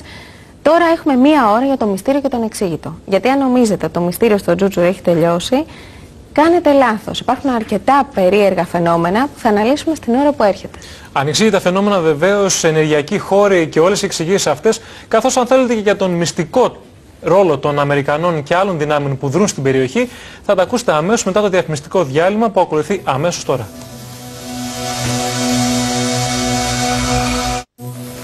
Είμαστε και πάλι στο στούντιο κοντά σας, λίγο αναστατωμένο το κοινό έχει βγει έξω, αλλά εμείς είμαστε εδώ για να μιλήσουμε με τους καλεσμένους μας. Και να έρθω κύριε Βιανίτη σε εσάς. Σε αρκετές περιπτώσεις στην εκπομπή που μιλούσαμε για ανεξήγητα φαινόμενα, υπήρχε ένας ψυχολόγος που μας γύρωνε απότομα και μας έλεγε δεν έχει σημασία τι σας λέει τόσος κόσμος, πρόκειται για ομαδική ψύχωση. Ωστόσο εδώ πέρα το θέμα της ενέργειας είναι κάτι το οποίο στηρίζεται από κατοίκους, από ανθρώπους που γνωρίζουν αρχαία ελληνική γραμματεία, άρα απορρίπτουμε φαντάζομαι το ενδεχόμενο της ψύχωσης της ομαδικής, σωστά; Ομαδική ψύχωση θα έλεγα και εγώ ότι είναι μία έννοια ε, η οποία βολεύει πάρα πολλές φορές για να δώσουμε μία ταμπέλα, μία ερμηνεία σε κάτι το οποίο δεν καταλαβαίνουμε. Ε, θα πρέπει να κατανοήσουμε όταν μιλάμε και για ψυχολόγους και γενικά για επιστήμονες οι οποίοι ασχολούνται μετά της ψυχής ε, ότι υπάρχουν πάρα πολλές σχολές και πάρα πολλές προσεγγίσεις ε, γύρω από τα θέματα. Αυτό το οποίο θα ονόμαζε κάποιος ομαδική ψύχωση είναι, μπορεί να είναι κάτι που να έχει τελείως διαφορετικές αιτίες και να βασίζεται σε μαρτυρίες. Έτσι. Αλλά Μπορεί εδώ να γίνεται είναι εσκεμμένα, κύριε Βιανή, στην προκειμένη περίπτωση για να καλυφθεί ένα γεγονός στην περιοχή εκείνη, μιλάω έτσι.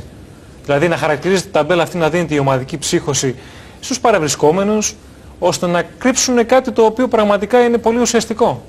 Έχω την εντύπωση ότι το θα, αποκλείστηκε το έβλεπα, ενδεχόμενο. θα το έβλεπα σαν μια στρατηγική κάποιων οι οποίοι θα ήθελαν να αποκρύψουν την πραγματική φύση κάποιων γεγονότων ε, και να δώσουν αυτή την εξήγηση προς τα έξω. Και μου φαίνεται εδώ βαδίζουμε προς την καρδιά και την ουσία των γεγονότων γιατί εκτός από την, ε, είπαμε εδώ πέρα το θέμα για μένα ξεπερνάει τη μαρτυρία ενός κατοίκου και με το τι έχει ανακαλύψει μέσα σε κάποιες σπηλιές. Υπάρχουν κάποια δεδομένα γεγονότα τα οποία δεν μπορούμε να τα αγνοήσουμε. Και το βασικότερο γεγονός είναι το έντονο ενδιαφέρον των Αμερικανών, το, η- όλη αυτή η όχι μόνο φημολογία, αλλά και σε μια προηγούμενη εκπομπή, στην προηγούμενη εκπομπή που είχατε κάνει εδώ για τον Τζούτσουρα, φέρατε και έγγραφα που έδειχναν την ε, συμφωνία μεταξύ του τότε Υπουργού Εξωτερικών μαζί με κάποιους Αμερικανούς ε, σε ανταλλάγματα τα οποία δοθήκαν για τα υλικά τα οποία είχαν επαρθεί από τον Τζούτσουρα. Γνωρίζουμε επίσης ότι οι δύο στρατιωτικές βάσεις που υπάρχουν Αμερικάνικες στην Κρήτη έχουν μια ιδιαίτερη εξαιρετική στρατηγική σημασία για τον ηλεκτρονικό πόλεμο και τον ηλεκτρονικό έλεγχο σε όλο τον πλανήτη. Σας Σαν- ευχαριστώ που μου δίνετε τη δυνατότητα να ρωτήσω τον κύριο Αντωνάκη, γιατί νομίζω ότι είναι ίσως ο κατάλληλος άνθρωπος να μας μιλήσει τόσο για την ενέργεια της περιοχής, όσο και αν θέλετε για τυχόν ηλεκτρονικό πόλεμο που επικρατεί και αποτελεί το σημείο εκείνο το, το εφαλτήριο. Κοιτάξτε να δείτε. Αρκετές φορές ακούμε την, ε, τον όρο γεωδετική σημασία ενός τόπου και μετά ακούμε να ακολουθείται από μια άλλη ορολογία τόπος δύναμης ή ενεργειακός τόπος. Στην πραγματικότητα και οι τρεις αυτές ε, ερμη- έννοιες σημαίνουν το ίδιο πράγμα.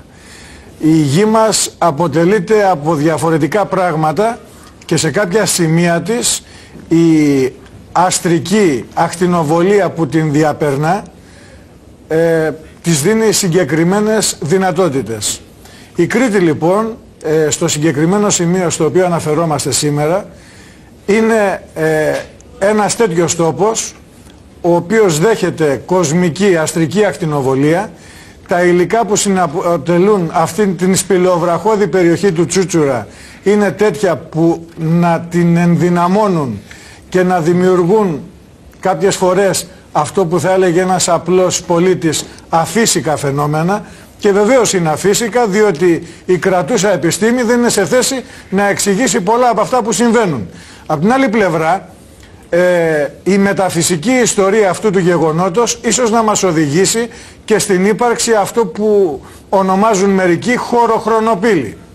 Αν αποτελεί λοιπόν μια πόρτα προς άλλες διαστάσεις, προς άλλους χώρους, η περιοχή του Τσούτσουρα, είναι ιδιαίτερο σημαντικό ότι μπορεί να εμφανίζονται πράγματα και καταστάσεις που να εκπλήσουν τον όποιον τα παρακολουθεί ευνηδιαστικά. Ήθελα εδώ να σημειώσω επίσης ότι τα ευρήματα που έχουν βρεθεί και κατά την ταπεινή μου εκτίμηση τα περισσότερα από αυτά δεν βρίσκονται πλέον στην Ελλάδα διότι είμαστε ένα ξέφραγο αμπέλι και όποιος θέλει μπαίνει και παίρνει και τα πηγαίνει όπου θέλει ε, πολλά από αυτά τα αντικείμενα πολλοί συνομολογούν ότι είναι τέτοιας αξίας που ενδεχομένως εάν βρισκόταν σε κοινή θέα θα ανέτρεπαν πολλά από τα ιστορικά δεδομένα τα οποία κάποιοι θέλουν να μας επιβάλλουν. Εκτιμάτε κύριε Μπεξή ότι ο λόγος που, τον, που ανέφερε ο κύριος Αντωνάκης, δηλαδή για μια χρονοπύλη, χωροχρονοπύλη αν θέλετε τέλος πάντων στην περιοχή του Τσούτσουρα, είναι και η αιτία για την εμφάνιση ενός αντικειμένου στις 21 Αυγούστου όπως μου αναφέρατε πρωτήτερα. Ναι. Να σας πω το εξής. Πείτε μου με πολύ Πρώτα απ' λίγα όλα- λόγια το φαινόμενο. Με, με λίγα λόγια είναι δύσκολο. Πρέπει να σας εξηγήσω το εξής πρώτα απ' όλα. Ότι εγώ είμαι αρχαιολόγος, έτσι. Ε, 30 χρόνια τώρα ερευνώ, σπουδάζω την αρχαιολογία και την ιστορία και μέσα σε αυτό το πλαίσιο της αρχαιολογίας και ιστορίας μπορείς να δεις διαχρονικά σε όλους τους πολιτισμούς διάφορα παράξενα φαινόμενα. Αυτά τα καταγράφεις και τα αναφέρεις. Η εξήγηση ανήκει σε άλλους. Μέσα σε αυτό το πλαίσιο λοιπόν, και γι' αυτό το λόγο ακριβώς έβγαλα και το καινούργιο περιοδικό το Άωτον, για να φύγουμε να ξεκαθαρίσουμε επιστημονικά πια ορισμένα πράγματα. Μπορώ να σας πω λοιπόν ότι στις 21 Αυγούστου του 2007, Φέτος δηλαδή, πριν Τώρα. λίγους μήνες. τώρα πριν λίγους μήνες, και ευχαριστώ θερμά όλους τους φίλους γιατί στην Κρήτη υπάρχουν ε, πολύ καλοί μου φίλοι οι οποίοι συλλέγουν και μου δίνουν πληροφορίες από το Ασίμι, από το Ρέθυμνο, από το Αμάρι, από τα Χανιά. Λοιπόν, και τους ευχαριστώ θερμά μέσω της εκπομπής. Ε, υπάρχει λοιπόν η πληροφορία ότι το βράδυ της 3η Αυγούστου, 21, α, 21 λοιπόν Αυγούστου 2007, τρία πολεμικά αεροπλάνα διασχίζουν με μεγάλη ταχύτητα το βράδυ την πεδιάδα της Μεσαράς. Κατευθύνονται προς τα αστερούσια και μάλιστα προς τη θάλασσα.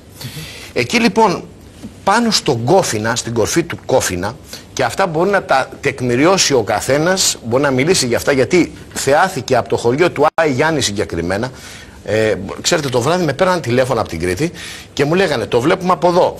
Μετά με παίρνανε από το Ηράκλειο που είχε πάει η πληροφορία και φεύγανε απάνω το δούνε. Τι βλέπαν, λοιπόν, λοιπόν; πάνω λοιπόν στην κορφή του Κόφινα ε, θεάθη ένα αντικείμενο το οποίο είχε λευκό χρώμα αρχικά.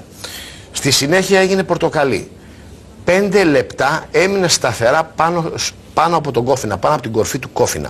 Που βρίσκεται στα αστερούσια, έτσι, στην, στην περιοχή των αστερούσιων. Και εν συνεχεία αλλάζει χρώμα, κινείται ανατολικά, γίνεται πορτοκαλί, βαθύ κόκκινο προς το βυσινί και μετά εξαφανίζεται. Οι περιπολίες των αεροπλάνων και το γεγονός επίσης μπο, μπορεί να Οι περιπολίες πιστοποιηθεί... των αεροπλάνων βέβαια υπάρχει αεροπορική βάση κάτω. Σα, θα σαφέστατα. μπορούσαμε να πούμε Ακούστε ότι- όμως, ακούστε όμως. Η περιοχή που περιπολούσαν από το Τζούτσορα μέχρι το Λέντα. Στον αρχαί- στην περιοχή του αρχαίου Λαβι- Λεβίνος που υπάρχει και το Ασκληπείο. Όποιος θέλει λοιπόν από την περιοχή μπορεί να πάρει και τηλέφωνο τώρα στην εκπομπή να θυμηθεί το γεγονός γιατί το είδανε πάρα πολύ. Εγώ δεν σας μιλάω για τις πτήσεις. Γιατί όμως οι πτήσεις αυτές συμβαίνουν εντελώς τυχαία όταν γίνεται μια θέαση στον αντικείμενο; Γιατί δεν είναι η πρώτη φορά. Έχει συμβεί κι άλλες φορές. Δηλαδή θεάται ένα αντικείμενο, εγώ δεν ξέρω τι είναι το αντικείμενο, δεν λέω. Καταλάβετε, απλά καταγράφω και καταγράφω μαρτυρίες. Γιατί λοιπόν οι πτήσεις γίνονται εντελώς τυχαία μετά ακριβώς από τέτοιο φαινόμενο, από τέτοια φαινόμενα; Είστε σαφείς και Έτσι. νομίζω ότι θα πρέπει να περάσουμε... Ας πάρουν και τηλέφωνα άνθρωποι από, από την Θα μας περιοχή. καλέσουνε. Έτσι να μας καλέσουν να μας το Να πούν το είστε σίγουρος γεγονός. ότι θα συμβεί αυτό. Να το Να επιβεβαιώσουν. συνεχίσουμε το ταξίδι στο ανεξήγητο. Και αυτό γιατί ο κύριος Κεφαλάκης, που παρακολουθήσαμε και πριν λίγο, όλα όσα ζούσε τα κατέγραφε σε ημερολόγια. Δηλαδή υπάρχουν πάρα πολλά βιβλία που αναφέρει μέσα ιστορίες απίστευτες. Κάποιες από αυτές τις ιστορίες μας τις λέει στην κάμερα η κόρη του, όπως ακριβώς τις έγραψε και ο ίδιος. Αλλά μας λέει και ο ίδιος κάτι άλλο. Για μια περιπέτεια που είχε όταν σε μία από τις εξερευνήσεις που έκανε συνάντησε δύο αρχαίους ανθρώπους.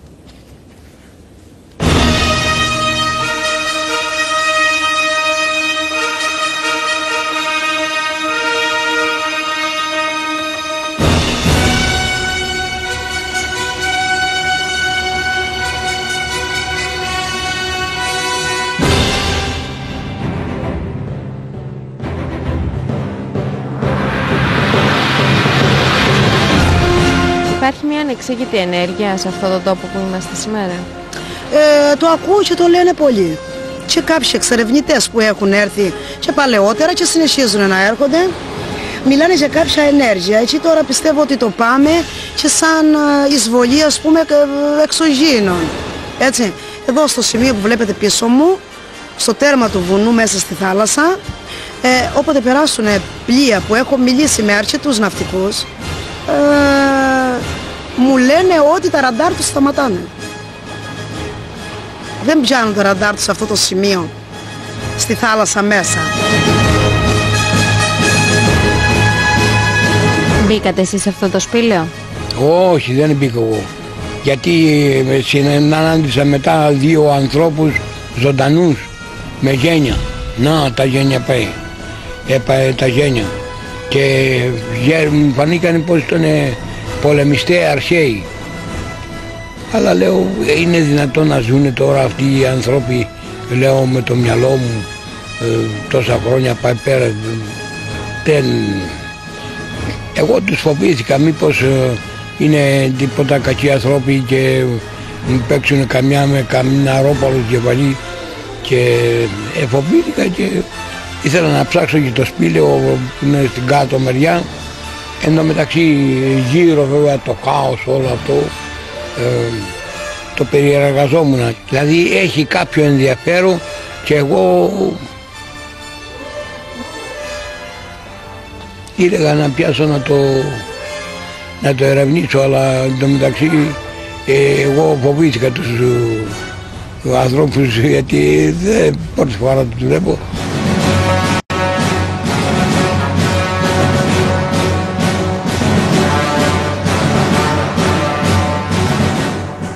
αυτά που είχε συναντήσει τότε τα έχεις σημειώσει ο ίδιος στα ημερολόγια του; Ναι, έχει κάποια ημερολόγια τα οποία τα έχεις σημειώσει και όταν κάποιος χωριανός ή κάποιος κυνηγός τέλος πάντων που ερχόταν και του έλεγε ε, σε αυτό το βουνό που πήγα και κυνήγησα ας πούμε σήμερα είδα αυτό το παράξενο φαινόμενο.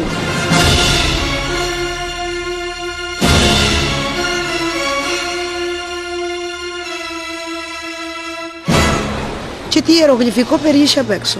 Ό,τι σημαντικές ανακαλύψεις έκανε ο μπαμπάς μου σε όλες αυτές τις διαδρομές που πήγαινε και στις εξερευνήσεις του, ό,τι σημαντικό επιβεβαίωνε, το έγραφε σε κάποια ημερολόγιο που έχει γράψει. Δεν μπορεί κανένας μα κανένας να τα αμφισβητήσει, γιατί ήμουν παρόν όταν έγραφε. Λοιπόν, θα σας διαβάσω κάποια αποσπάσματα από το ημερολόγιο του. Υπάρχει σημαντική βίβλος που είναι σαν είδος άλμπουμ και έχει όλους τους βασιλείς, βασίλισσες, πρίγκιπες και πριγκίπισσες της οικογένειας ολόκληρης, της, βα...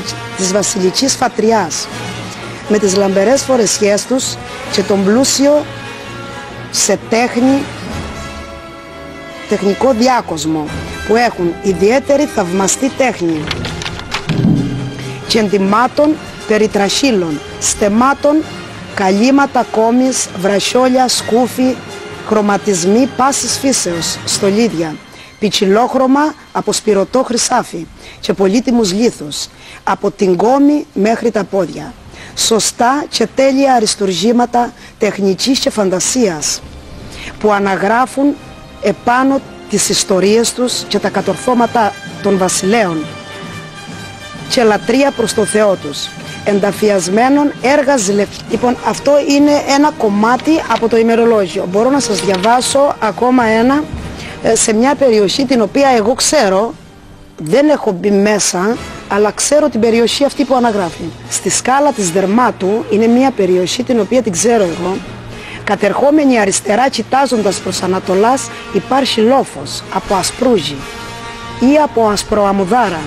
Πάνω σε αυτό διέμενε αρχαίος βασιλεύς όταν παραφέριζε και έκανε και τα μπάνια του στην περιοχή αυτή.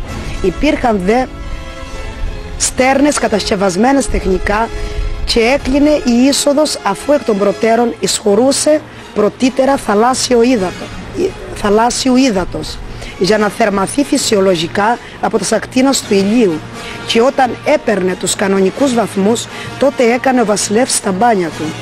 Την επόμενη εργαζόταν, εργαζόταν των εφαρμοστών λίθων. Έβγαζαν τον, την επόμενη έβγαζαν των εφαρμοστών λίθων και τα νερά εισχωρούσαν μέσα νέα αφού τα προηγούμενα τα έβγαζαν. Υπήρχε και στρατός που τον φρουρούσε, τον βασιλέα. Προεκτείνοντας δε μεγάλη πόλη προς Ανατολάς να μελετηθεί η λέξης τερευ, τερεβίνθος, τερέμβηθος, να ερευνηθεί πολύ προσεκτικά αυτή η περιοχή.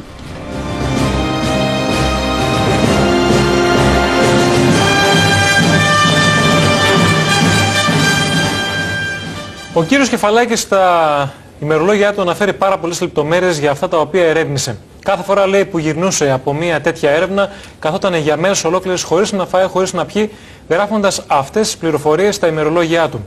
Αν τελικά όλα αυτά τα οποία έχει γράψει είναι πραγματικότητα, τότε φανταστείτε τι τροπή μπορεί να πάρει η ελληνική ιστορία και πώς θα αλλάξει βρίσκοντας έναν αρχαίο ελληνικό πολιτισμό.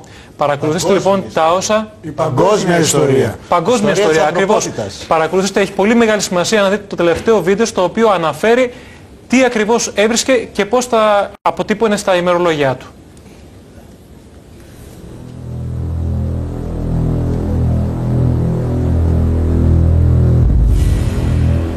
Από τις ιστορίες που έχει ζήσει ο ίδιος, από μέρη τα οποία έχει επισκεφθεί και ισχυρίζεται ότι υπάρχει αρχαίος πολιτισμός. Ποια είναι αυτή που σας εντυπωσίασε πιο πολύ; Εμένα με εντυπωσίασε όταν μου είπε μια λαγόχη ιστορία, δηλαδή κάθισε και μου διηγήθηκε πριν 10 χρόνια. 10 χρόνια. Είχε η αδελφή μου στα νόγια βάφτιζε τα παιδιά της. Είχε φύγει η μητέρα μου Και μου λέει ο πατέρας μου, λέει θα φύγω και θα λείπω για μία εβδομάδα. Ε, θέλω να σου πω και το άλλο. Εμείς από παιδιά που είμαστε στο πατέρα μου το σπίτι, ποτέ δεν τον εθιμόμαστε να κάθεται στο σπίτι, να τον έχουμε έτσι, να τον εβλέπουμε. Συνέχεια έβε- έφευγε και έκανε εξερευνήσεις και μετά θα ερχότανε και είχε ένα σπιτάκι και καθότανε μέσα με τις μέρες. Και ούτε φαγητό έτρωγε ε, Όλγα, τίποτα. Καθόταν με τις μέρες μέσα στο σπιτάκι και έγραφε αυτά τα ημερολόγια που έχει τώρα. Και τα έγραφε από τις βόλυτες που έκανε που έλειπε από το σπίτι μας και έκανε τις εξερευνήσεις του, μετά γύριζε και τα έγραφε όλα. Και του φωνάζαμε, μπαμπά έλα να φας, δεν θέλω. Εγώ έχω άλλο φαγητό και τρώγω, μας έλεγε. Και καθόταν και έγραφε. Και τώρα άκουσα και λένε ότι έχει βοηθούσε ο πατέρας μου και ότι κάποιοι άλλοι έχουν γράψει τα ημερολόγια του. Είναι λάθος όλοι. Είναι λάθος όλοι.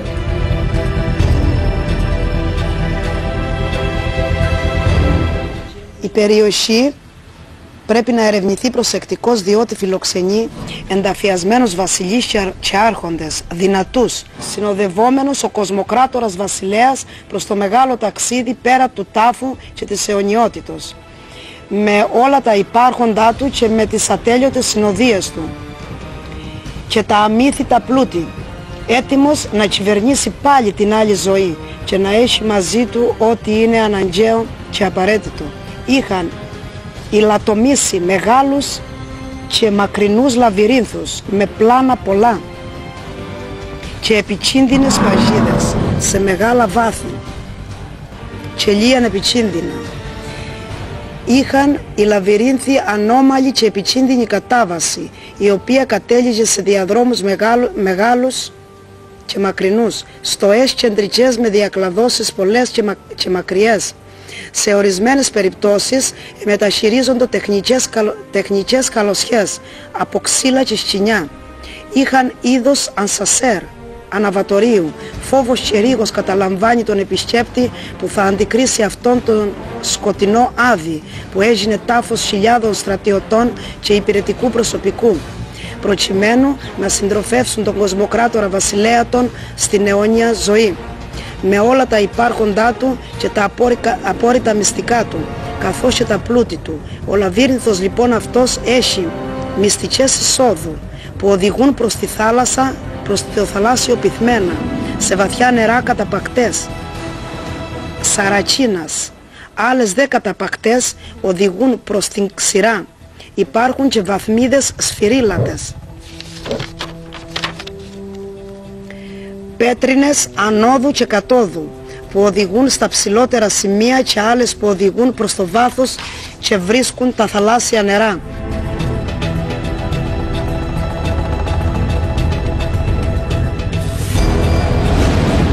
Και μου λέει Παναγιώτα θα φύγω και θα λείπω μία εβδομάδα. Μου το είπε ο πατέρας μου όχι για να... γιατί αυτός συνηθίζει να μην, δίνει, να μην έδινε σε κανένα λογαριασμό τι κάνει και πού πάει.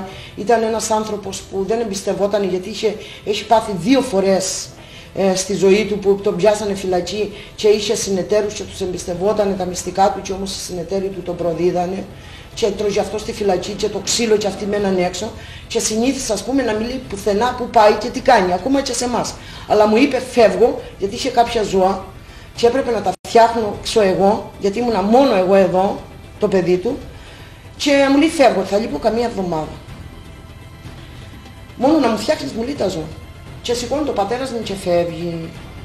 Μετά από τρεις μέρες, κατά τις 12 η ώρα τη νύχτα, ε, το σπίτι του πατέρα μου το δικό μου είναι κοντά και είχα το παράθυρο ανοιχτό γιατί ήταν καλοκαίρι και ήταν ζέστη. Και άκουσα φωνές, σαν κάποιος να πονούσε. Και λέω αυτή η φωνή είναι του πατέρα μου.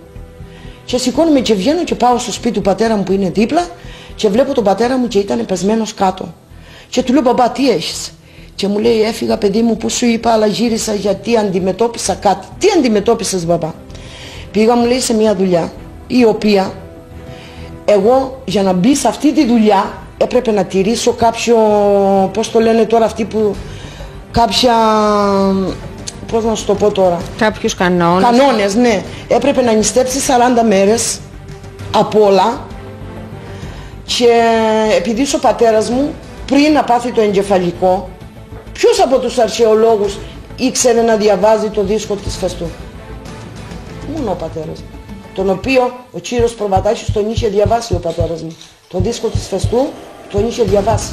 Όταν είχε κατέβει και είχε με σμίξει μαζί με τον πατέρα μου. Γιατί ήμουνα μπροστά όταν τον διάβασε. Και ήξερε να διαβάζει κάποιες περγαμηνές που γράφανε εκεί πέρα στις δουλειές που έβρισκε.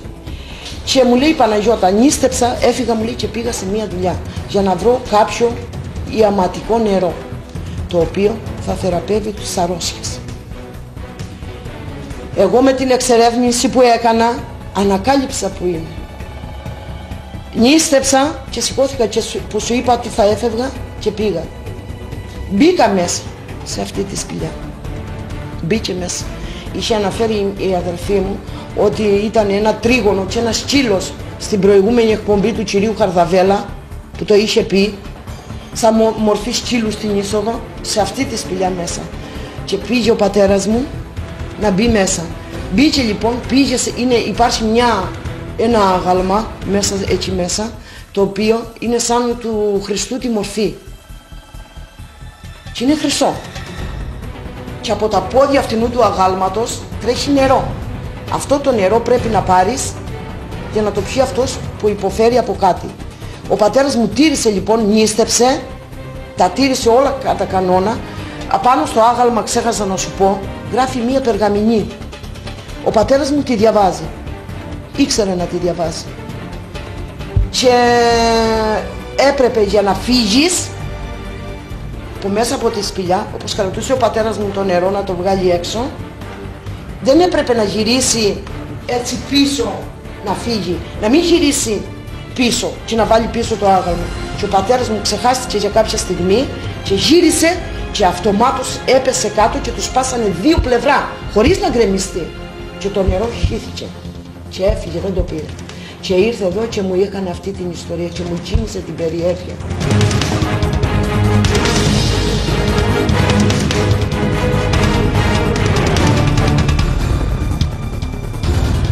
Με κίνδυνο λοιπόν της ζωής του, ο κύριος Κεφαλάκης ερεύνησε σπιθανή προς πιθανή τον Τσούτσουρα.